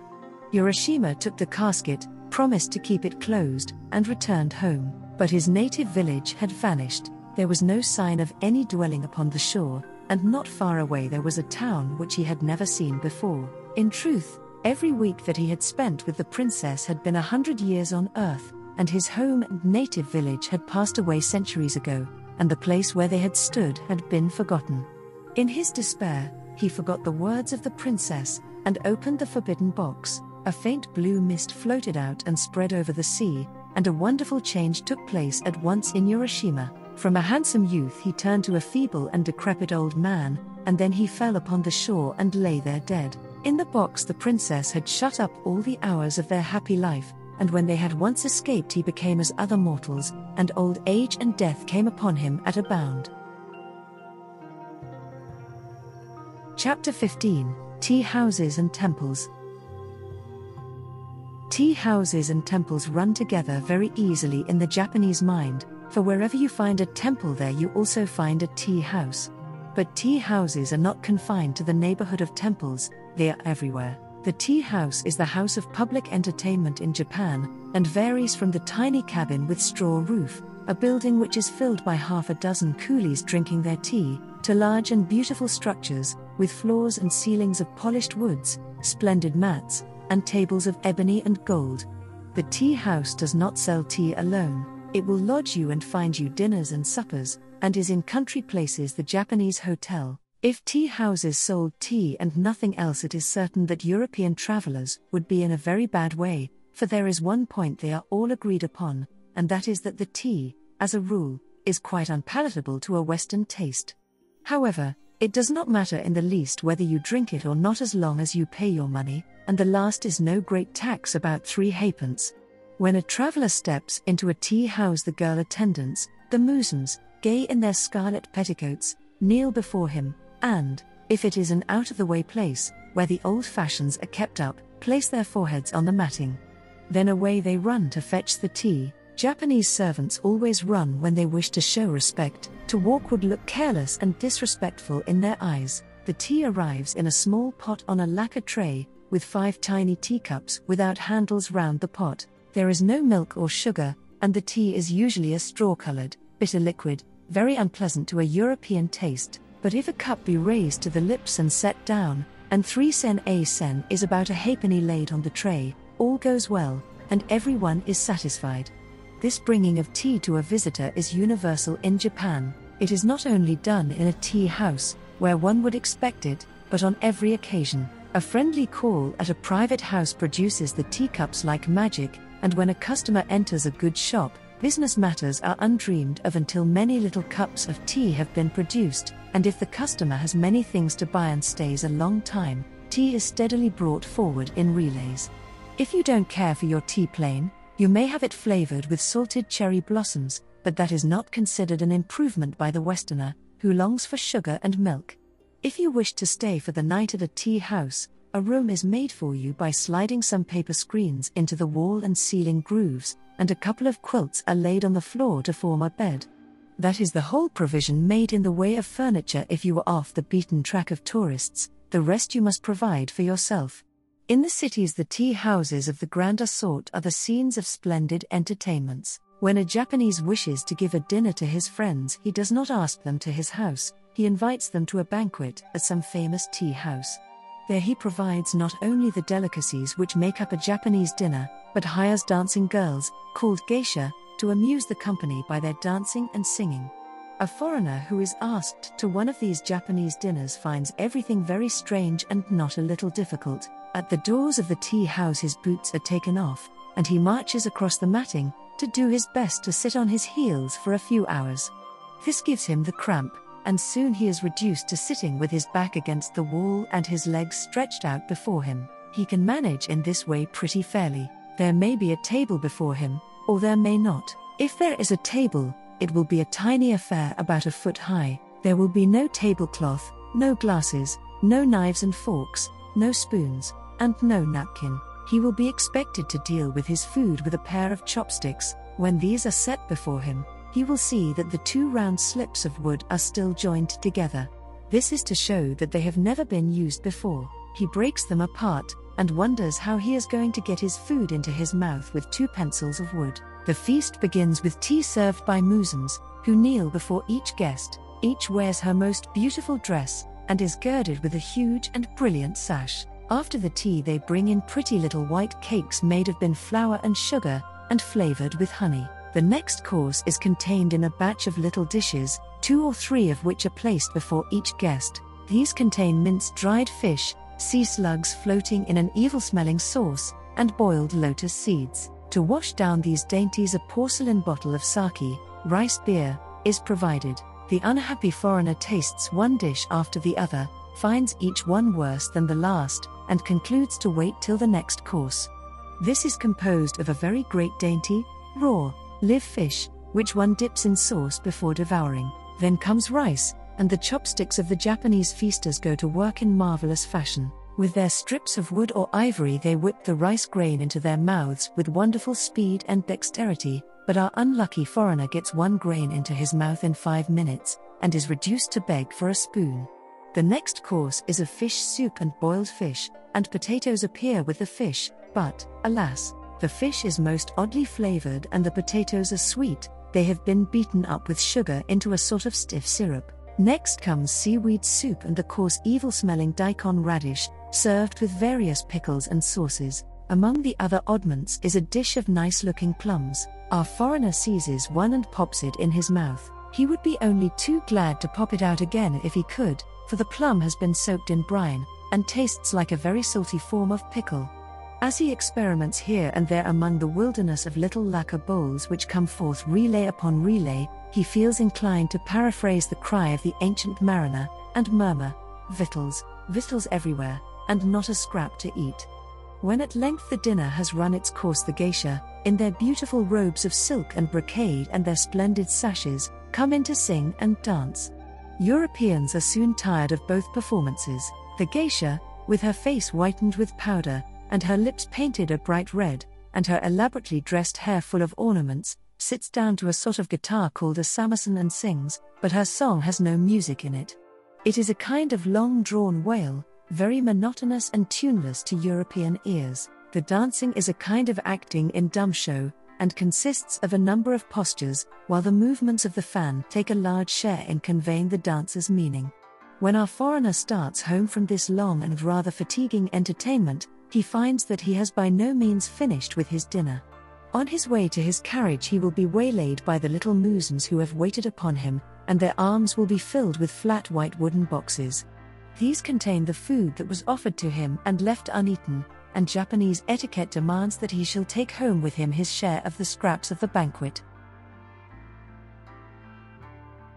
Chapter 16 Tea Houses and Temples, continued. The Japanese are very fond of their temples and visit them constantly. They do this not only to pray to their gods, but to enjoy themselves as well, for the temple grounds are the scene of great fairs and festivals. If you visit a temple on the day of some great function, you will find its steps outside packed with rows upon rows of clogs and umbrellas, placed there by the worshippers inside. You enter, and find the latter seated on the floor, and if the service is not going on at the moment, they are smoking and chatting together, and the children are crawling about in the crowd. When the service is over, the worshippers disperse to find a cool spot in the temple grounds to eat their simple meal. In front of the temple stands wooden arch, called a torii. Sometimes the temple is approached through a whole avenue of them of various sizes. The building is of wood, sometimes small, sometimes very large, and is usually surrounded by booths and tea houses. At many of the booths may be purchased the figures of the more popular gods. Everywhere may be seen the fat figures of the seven gods of wealth, the deities most beloved in every Japanese household. Then there are the god and goddess of rice, who protect the crops, and who are attended by the figures of foxes quaintly carved in wood or molded in white plaster. The goddess of mercy, with her many hands to help and save, is also a favorite idol. At another spot, you find peep shows, stalls at which hairpins, paints, and powder boxes, and a thousand other trifles, are sold, archery galleries, where you may fire 20 arrows at a target for a halfpenny, booths, where acrobats, conjurers, and jugglers are performing and tea houses without number, where the faithful are sipping their tea or sake and puffing at their tiny pipes. The young girls are fond of purchasing sacred beans and peas and rice at a stall set up under the eaves of the temple. With these, they feed the temple pigeons, who come swooping down from the great wooden roof, or the sacred white pony with the blue eyes which belongs to the holy place. On the steps sit rows of licensed beggars, who will pray for those who will present them with the tenth part of a farthing. But prayers may also be bought from the priests, prayers written upon a scrap of paper, which scrap is afterwards fastened to the bars of the grating in front of the figure of a god. A favorite god will have many thousand scraps of paper fluttering before it at one time. Many of the temple gardens are of very great beauty and interest. There can be seen many of the marvels of Japanese gardening tiny dwarf trees, hundreds of years old, and yet only a few inches high, or tall shrubberies cut and trained to represent a great junk in full sail, or the figure of a god or hero. At certain times of the year when the temple orchards are in blossom, great throngs visit them simply to enjoy the delicate beauty of the scene. The plum blossom appears in February, and the cherry blossom in April or May. Later in the year, the purple iris is followed by the golden chrysanthemum, high and low, all crowd to see the beauty of a vast sweep of lovely blossom. A poor Japanese thinks nothing of walking a hundred miles or more to see some famous orchard or garden in its full flowering splendor. From his earliest years, this love of natural beauty has been a part of his education. As a child, he has taken many a trip with his father and mother to admire the acres of plum or cherry blossom in a park or temple garden. As a man, he lays his work aside and goes to see the same spectacle with redoubled delight. Chapter 17 The Rickshaw Man. The Rickshaw Man, for his heart is in Japan, with its junks and Fujisan, and its tea houses and temples, and the smiling rickshaw man. We have heard of Fujisan, the famous mountain, we have talked of tea houses and temples, and now we must say something about the rickshaw man or boy, a very important person indeed in Japan. He is not important because of riches or rank, for, as a rule, he is very poor and of the coolie order, he is important because he is so useful. He is at one and the same time the cabman and the cab horse of Japan. He waits in the street with his little carriage, and when you jump in, he takes hold of the shafts himself and trots away with you at a good speed. The jinriksha, to give it its full name, means manpower carriage, and is like a big mail cart or perambulator. There is a hood of oiled paper to pull up for wet weather, a cushion to sit on, a box for parcels under the seat, two tall slight wheels, and a pair of shafts. If the rickshaw boy is well to do in his business, his carriage is gaily lacquered and painted with bright designs, and however poor he may be, there will be some attempt at decoration. At night, every rickshaw is furnished with a pretty paper lantern, circular in form, about 18 inches long, and painted in gay designs. These look quite charming as they bob here and there through the dusk, their owners racing along with a fare. The rickshaw is as modern as the bicycle, the first one was made less than 40 years ago, but they sprang into favor at once, and their popularity grew by leaps and bounds.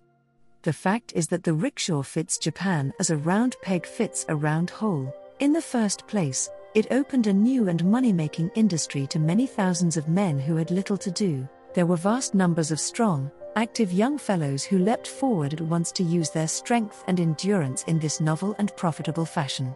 Then, the vehicle was suited to Japanese conditions, both in town and country. In town, the streets are so narrow and busy that horse traffic would be dangerous. In fact, in many places, a horse is so rare a sight that when one trots along a street, a man runs ahead, blowing a horn to warn people to clear out of the way. But the rickshaw boy dodges through the traffic with his little light carriage and runs over no one. Then, in the country, the roads are often very narrow, and sometimes very bad mere tracks between fields of rice. Here the rickshaw is of great service, owing to its light weight and the little room it requires. As a rule, the rickshaw is drawn by one man and holds one passenger, but it has often to contain two Japanese, for the pair of them will fit snugly into the space required for one Englishman. If the traveler wishes to go fast, he has two human horses harnessed to his light chariot both run in front till a hill is reached, when one drops back to push behind. Wherever you arrive in Japan, whether by steamer or by train, you will find long rows of rickshaw boys waiting to be hired. They are all called boys, whatever their age may be, until a possible passenger comes in sight. The queer little men, many of them under five feet in height, stand beside their rickshaws, smoking their tiny little brass pipes with bowls about half as big as a thimble. Their clothes are very simple. They wear a very tight pair of short blue drawers and a blue tunic, upon the back of which a huge white crest is painted, the distinguishing mark of each boy. An enormous white hat the size and shape of a huge basin is worn on the head, but if the day becomes very hot, the hat is taken off, and a wisp of cloth bound round the forehead to prevent sweat from running into the eyes. As for sunstroke, the rickshaw boy has no fear of that. When you step into sight, a score dart forward, dragging their rickshaws after them with one hand and holding the other up to draw your attention, and shouting, Rickshaw! Rickshaw! Rickshaw! You choose one, and step in. The human steed springs between the shafts, raises them and tilts you backwards, and then darts off, as if eager to show you his strength and speed, and prove to you what a good choice you have made. Away bounds the little man, and soon you are bowling along a narrow street where a passage seems impossible, so full is it of boys and girls, men and women, shops and stalls. There may be a sidewalk, but then, the shopkeepers have taken that to spread out their wares, or the stall keepers have set up their little booths there. So the people who want to go along the street, and the boys and girls who want to play in it, are all driven to the middle of the way.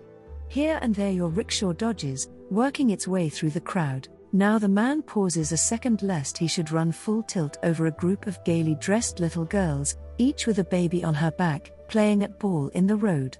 Half a dozen others are busy with battledores and shuttlecocks, and the gaily painted toys drop into your carriage, and you are expected to toss them out again to the mites, who will bow very deeply and with the profoundest gravity in return for your politeness. Then something flutters over your head, and you see that two boys and an old man are sitting on the roof of a house about as high as a tool shed, trying to get their kites up. And you say to yourself that it is lucky that there are no horses, for the quietest beast that ever lifted a hoof would bolt here and charge through the whirl and uproar and the rain of dropping shuttlecocks and bouncing balls.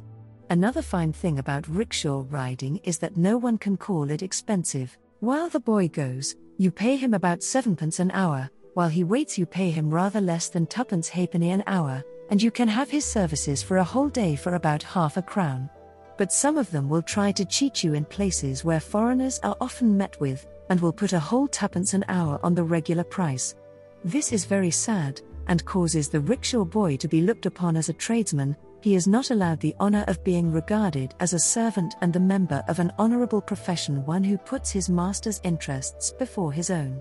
But, as a rule, the foreigner who employs the same rickshaw boy comes to look upon him as a guide, philosopher, and friend. He will tell you where to go and what to do, he knows all the sights, and can tell you all about them. If you go shopping, he will come in and see that you don't get cheated any more than you are bound to be. If you go on an expedition, he will find out the best tea house to stay at, he will cook for you, wait on you, brush your clothes, put up the paper screens to form your bedroom, take them down again, see that the bill is reasonable, pay it, and fee the servants in short, he will manage everything, and you have only to admire what you have gone to see.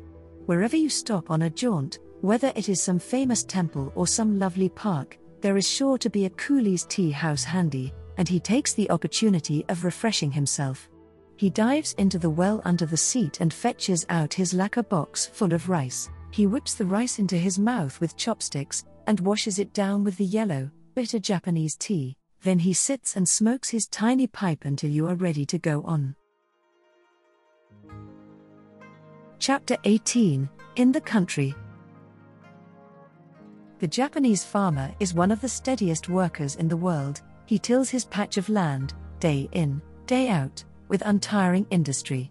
He works seven days a week, for he knows nothing of the Sabbath, and only takes a day off for a fair or a festival when his land is in perfect order and he is waiting for the crop.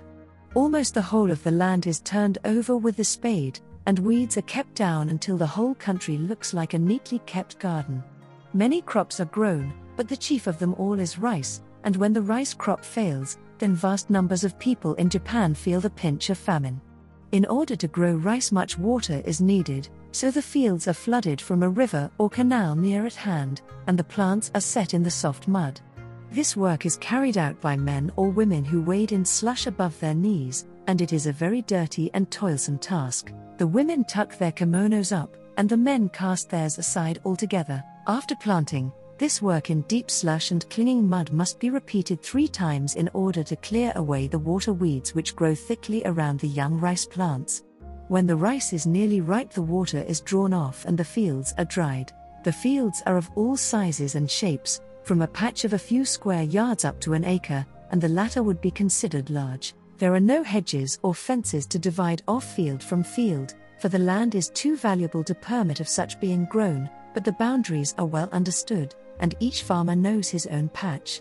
Another important crop is the plants which are grown for making paper. Paper has a great place in the industries of Japan. It is used everywhere and for almost everything. A Japanese lives in a house largely built of paper, drinks from a paper cup, reads by a paper lantern, writes, of course, on paper, and wraps up his parcels in it, ties up the parcels with paper string, uses a paper pocket handkerchief, wears a paper cloak and paper shoes and paper hat, holds up a paper umbrella against the sun and the rain, and employs it for a great number of other purposes.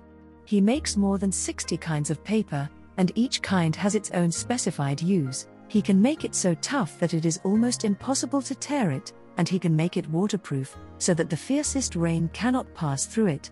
If your path leads you along the bank of a river, you will often see a fisherman at work. He has many ways of catching his prey. He uses a line and hook and the net. In a large stream or pool, he may be seen at work with a throwing net, a clever device. This net is made in the form of a circle 12 or 14 feet across, and round the edge of the net, heavy sinkers of lead are fastened.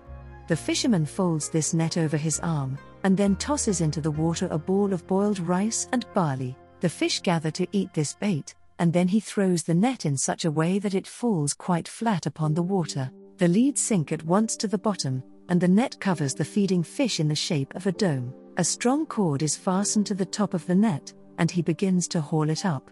The leads are drawn together by their own weight, and close the bottom of the net, and the fish are imprisoned. Sometimes he uses bow and arrows. This he does after putting into the water certain fruit and herbs which are very bitter. The juice of these herbs affects the water and drives the fish to the surface, where they leap about in pain. The fisherman shoots them with an arrow to which a cord is attached, and draws them ashore. As night falls after a hot day, the people and children of the village near at hand will come down to the waterside on a firefly hunt.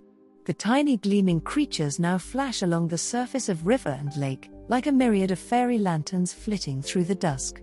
They are caught and imprisoned in little silken cages. At the bottom of the cage, there is a very small mound of earth in which a millet seed has been planted and has sprung up to the height of an inch or more, and beside the little plant, there is a tiny bowl of water. Here, the firefly will live for several days, to the delight of the children. Not far from the river is the village, with a brook running down the middle of its street. This brook serves many purposes. The women kneel beside it with sleeves and kimonos tucked up, washing clothes and vegetables, or dipping buckets in it to get water for baths. There is a loud rattle of wooden hammers at various points, for the stream turns a number of small water wheels, and these work big wooden hammers which pound up the rice placed in a big stump of a tree hollowed out for a mortar. As you stroll along the village street, you see what everyone is doing, for the fronts of the houses are all open, and you can see into every corner of each dwelling. Behind the houses, tall bamboos shoot up, and the bamboo is welcome, for it is a tree of many uses. Its wood serves for the framework of houses, and its leaves are often used as thatch. It will make a dish, a box, a plate, a bowl, an oar, a channel for conveying water, and a vessel for carrying it, a fishing rod, a flower vase, a pipe stem, a barrel hoop, a fan, an umbrella, and 50 other things, while young bamboo shoots are eaten and considered a great delicacy. On fine summer evenings, when the work of the day is over, the villagers gather in the court of the village temple for the Odori, the open air dance. The court is decked with big, beautiful paper lanterns, but there is a special one called Toro, a light in a basket. The Toro is often two feet square by five feet high, on one side of it is the name of the god in whose temple court the dance is being held, while the other is reserved for some short poem, written by one of the youths of the village. There is keen competition among them for the honor of writing the poem chosen to be inscribed on the Toro, and two of these tiny poems run thus I looked upon the cherry that blooms by the fence, down by the woodman's cottage, and wondered if an untimely snow had fallen upon it into the evening dew that rolls upon the green blade of the tall grown grass in Musashi Meadow. The summer moon comes stealthily and takes up her dwelling. The young men and maidens dance in a ring, circling round one who stands in the midst, from whom they take both the time and music of the many dances performed at the Odori. The dancers are always young and unmarried. The older people sit on the steps of the temple and watch the merry frolic with a smile. Chapter 19 In the Country, continued. On a wet day in the country, the people thatch themselves to keep off the rain. The favorite waterproof of the coolie is a huge cloak made of rice straw, the long ends sticking out. With this and his great umbrella hat, he keeps comfortably dry. Those who do not wear a big hat carry a large oiled paper umbrella, which shelters them well. There is plenty of wet weather in Japan, particularly in the summer, and then traveling is not very pleasant. The good roads become muddy and soft, and the bad roads become sheer quagmires, in which the coolie pulling the rickshaw is continually losing his straw sandals. These sandals, called waraji, mark out the tracks in every direction, for they soon wear out, and are cast off to litter the wayside in their hundreds. They are quickly and cheaply replaced, however, for almost every roadside house sells them, and a pair may be bought for a cent something less than a halfpenny. Not only do the men wear straw shoes, but horses are shod in them also, and a very poor and clumsy arrangement it is. The shoes are thick and are tied on the horse's feet with straw cords. They wear out so fast that a bunch has to be kept hanging to the saddle for use on the way, and in every village a fresh stock has to be secured, at the cost of a penny per set of four. The foreign visitor who travels through country places in Japan has to submit to being stared at, but nothing more. The people are so interested in a person who looks so different from themselves that they are never tired of watching him and his ways. But otherwise, their unfailing politeness remains. They do not crowd upon him, or, if they should come a little too near, they are soon warned off. An English artist, Mr. Alfred Parsons, was once sketching in Japan, and the crowd, anxious to see his work, came a little too near his elbow. He says, The keeper of a little tea shop hard by, where I took my lunch, noticed that I was worried by the people standing so close to me, and when I arrived next morning, I found that he had put up a fence round the place where I worked. It was only a few slender bamboo sticks, with a thin string twisted from one to another, but not a soul attempted to come inside it. They are such an obedient and docile race that a little string stretched across a road is quite enough to close the thoroughfare. A familiar figure along the Japanese highways and byways is that of the pilgrim going to see some famous shrine, or, most often of all, marching towards Fujisan, the sacred mountain. The Fuji pilgrim may be known by his garb. He is dressed in white, with white kimono, white socks and gaiters, and straw sandals. He wears a great basin shaped white hat, and has a rush mat over his shoulders to temper the heat of the sun or shed the rain. Round his neck hangs a string of beads and a bell, which tinkles without ceasing as he goes. He carries a little bundle of spare sandals and a staff with an ornament of paper about its end. His pilgrimage costs him very little. His food is of the simplest, and he gets a bed at a tea house for a halfpenny, or he lodges with a villager who offers him hospitality. To entertain his guest, the villager will fetch his best furniture from the village godown, for in the country one of these storehouses suffices for a whole hamlet. They are made very large and strong, with many thick coats of mud and plaster on a wooden frame, and with a door of iron or of bronze. Then, when the fire, which is sure to come at some time or other, sweeps over the hamlet and leaves it a layer of smoking ashes around the big godown, there are the village treasures still unharmed, and ready to adorn the houses which will spring up again as if by magic. When bedtime comes, the amado, the wooden shutters are drawn around the house and securely fastened, for a Japanese dwelling, so open by day, is shut up as tightly as a sealed box by night. Now all is quiet save for the village watchman, whose duty it is to guard against fire and thieves. He marches up and down, beating two pieces of wood together clop clop, clop clop as he walks. This is to give assurance that he is not asleep himself, but watching over the slumbers of his neighbors, and to let the thieves know that he is looking out for them. Chapter 20 The Policeman and the Soldier. The Japanese policeman is, first and foremost, a gentleman. He is a samurai, a man of good family, and therefore deeply respected by the mass of the people. He is often a small man for a Japanese, but though his height may run from 4 feet 10 to 5 feet nothing, he is a man of much authority. When the samurai were disbanded, there were very few occupations to which they could turn. They disdained agriculture and trade, but numbers of them became servants, printers, and policemen. This seems an odd mixture of tasks, but there are sound reasons for it. Many samurai became servants because service is an honorable profession in Japan. Many became printers because the samurai were an educated class and the only people fitted to deal with the very complicated Japanese alphabet, and many became policemen because it was a post for which their fighting instinct and their habit of authority well fitted them.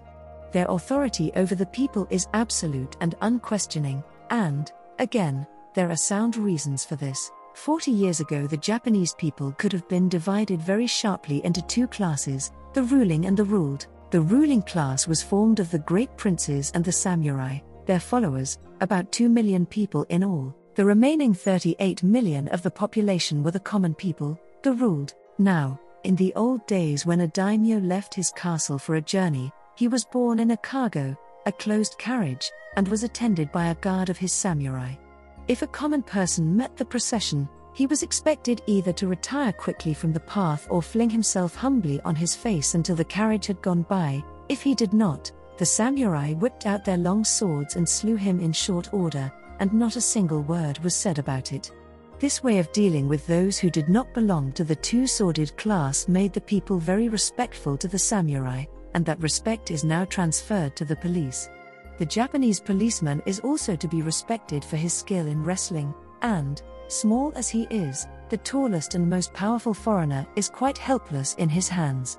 He is thoroughly trained in the art of Japanese wrestling, the jiu-jitsu of which we hear so much nowadays. In this system, a trained wrestler can seize his opponent in such a manner that the other man is quite at his mercy, or with a slight impetus, he can fling the other about as he pleases. One writer speaks of seeing a very small Japanese policeman arrest a huge, riotous Russian sailor, a man much more than six feet high. It seemed a contest between a giant and a child. The sailor made rush after rush at his tiny opponent, but the policeman stepped nimbly aside, waiting for the right moment to grip his man.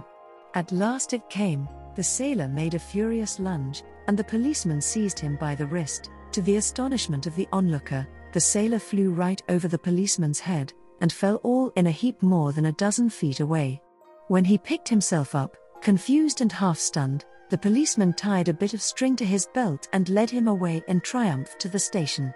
The policeman never has any trouble with his own people, they obey at once and without question. If a crowd gathers and becomes a nuisance to anyone, it melts as soon as one of the little men in uniform comes along and gives the order to disperse. He may sometimes be seen lecturing a coolie or rickshaw boy for some misdeed or other. The culprit, his big hat held between his hands, ducks respectfully at every second word, and looks all humility and obedience. Being an educated man, he has much sympathy with art and artists, and is delighted to help a foreigner who is painting scenes in Japan. Mr. Mortimer Menpes says, Altogether, I found the policeman the most delightful person in the world. When I was painting a shop, if a passerby chanced to look in at a window, he would see at a glance exactly what I wanted, and I would find that that figure would remain there, looking in at the shop, as still as a statue, until I had finished my painting, the policeman meanwhile strutting up and down the street, delighted to be of help to an artist, looking everywhere but at my work, and directing the entire traffic down another street. Of the Japanese soldier, there is no need for us to say much here, since the world has so lately been ringing with his praises. The endurance, the obedience, the courage of the Japanese soldier and sailor have been shown in marvelous fashion during the Great War with Russia, and Japan has fully proved herself to be one of the greatest of the naval and military powers of the world. The Japanese soldier is the result of the family life in Japan. From his infancy, he is taught that he has two supreme duties one of obedience to his parents, the other of service to his country. This unhesitating, unquestioning habit of obedience, a habit which becomes second nature to him, is of immense value to him as a soldier. He is a disciplined man before he enters the ranks, and he transfers at once to his officers the obedience which he has hitherto shown towards the elders of his family. His second great duty of service to his country also leads him onward towards becoming the perfect soldier. He not only looks upon his life as a thing to be readily risked or given for his emperor and for Japan, but he strives to make himself a thoroughly capable servant of his land. No detail of his duty is too small for him to overlook, for he fears lest the lack of that detail should prevent him from putting forth his full strength on the day of trial. He cleans a button as carefully as he lays a big gun, and this readiness for any duty, great or small, was a large factor in the wonderful victory of Japan over Russia. In battle, he questions no order. During the late war, many Japanese regiments knew that they were being sent to certain death, in order that they might open a way for their comrades. They never flinched, shouting their banzai. Their Japanese hurrah, the dogged little men rushed forward upon batteries spouting flame and shell, or upon ramparts lined with rifles, and gave their lives freely for Dai Nippon, Great Japan, the country of their birth. Chapter 21 Two Great Festivals.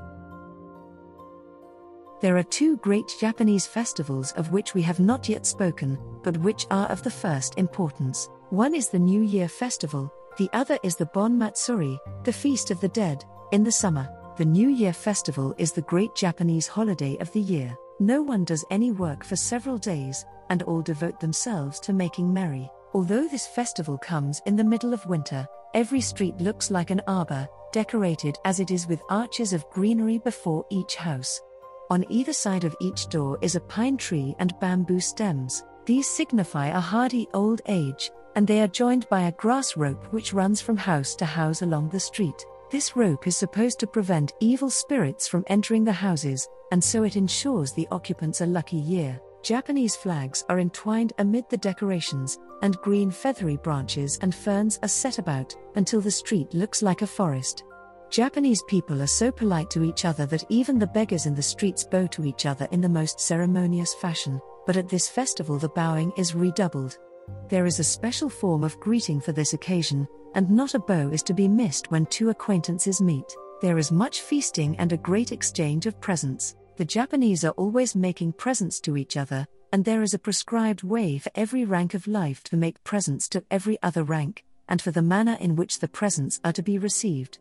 A present may always be known by the little gold or red or white paper kite fastened to the paper string which ties up the parcel. Everyone enters into the fun of the time, from the highest to the lowest. They call upon each other, they march in great processions, they visit the gayest and liveliest of fairs, they feast, they drink tea and sake almost without ceasing.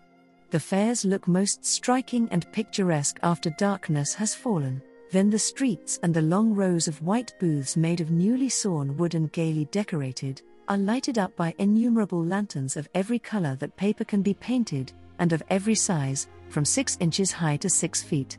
The crowd wear their gayest kimonos, and the musumes are brilliant in flowered or striped silks and splendid sashes, and the air is full of the rattle of the shuffling clogs and the tinkling samisen played in almost every booth.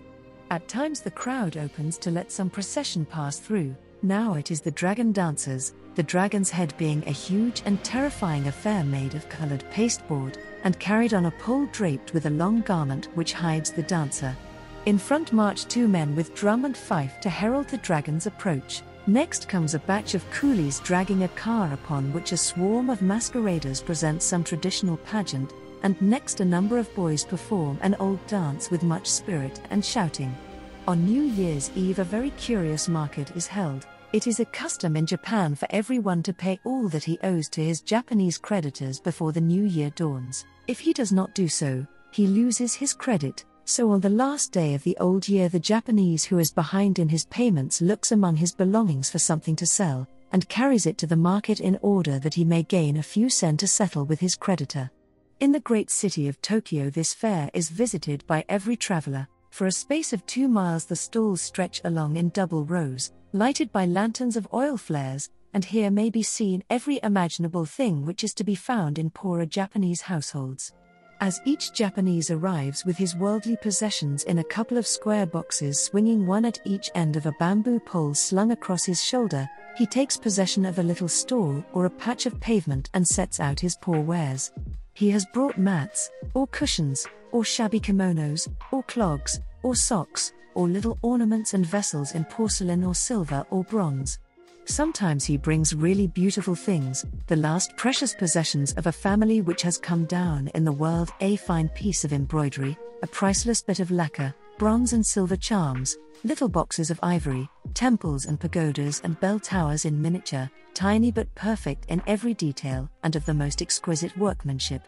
Everything comes to market on this night of the year. The Feast of the Dead takes place in the hot summer weather and is celebrated in different ways in various parts of Japan. Everywhere the children, in their finest clothes, march through the streets in processions, carrying fans and banners and lanterns, and chanting as they march, but most great cities have their own form of celebration.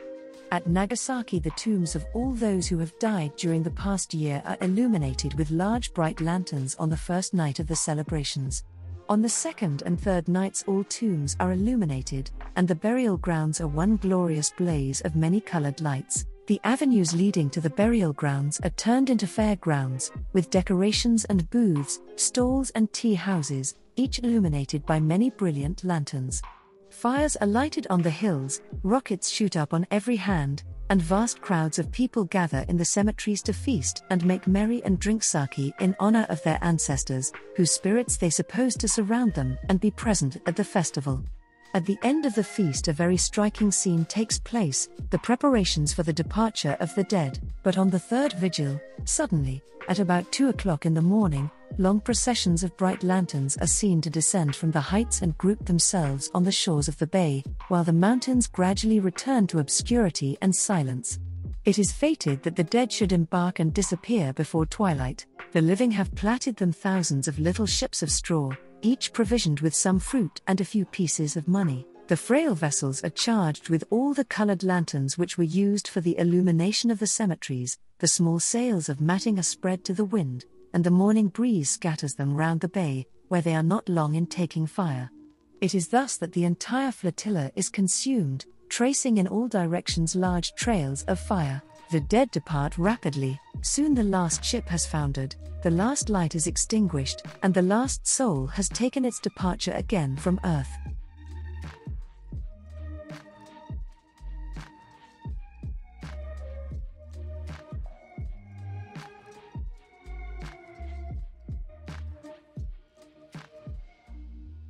Chill Books. Audiobooks with relaxing music, visuals, and subtitles to help you stay engaged.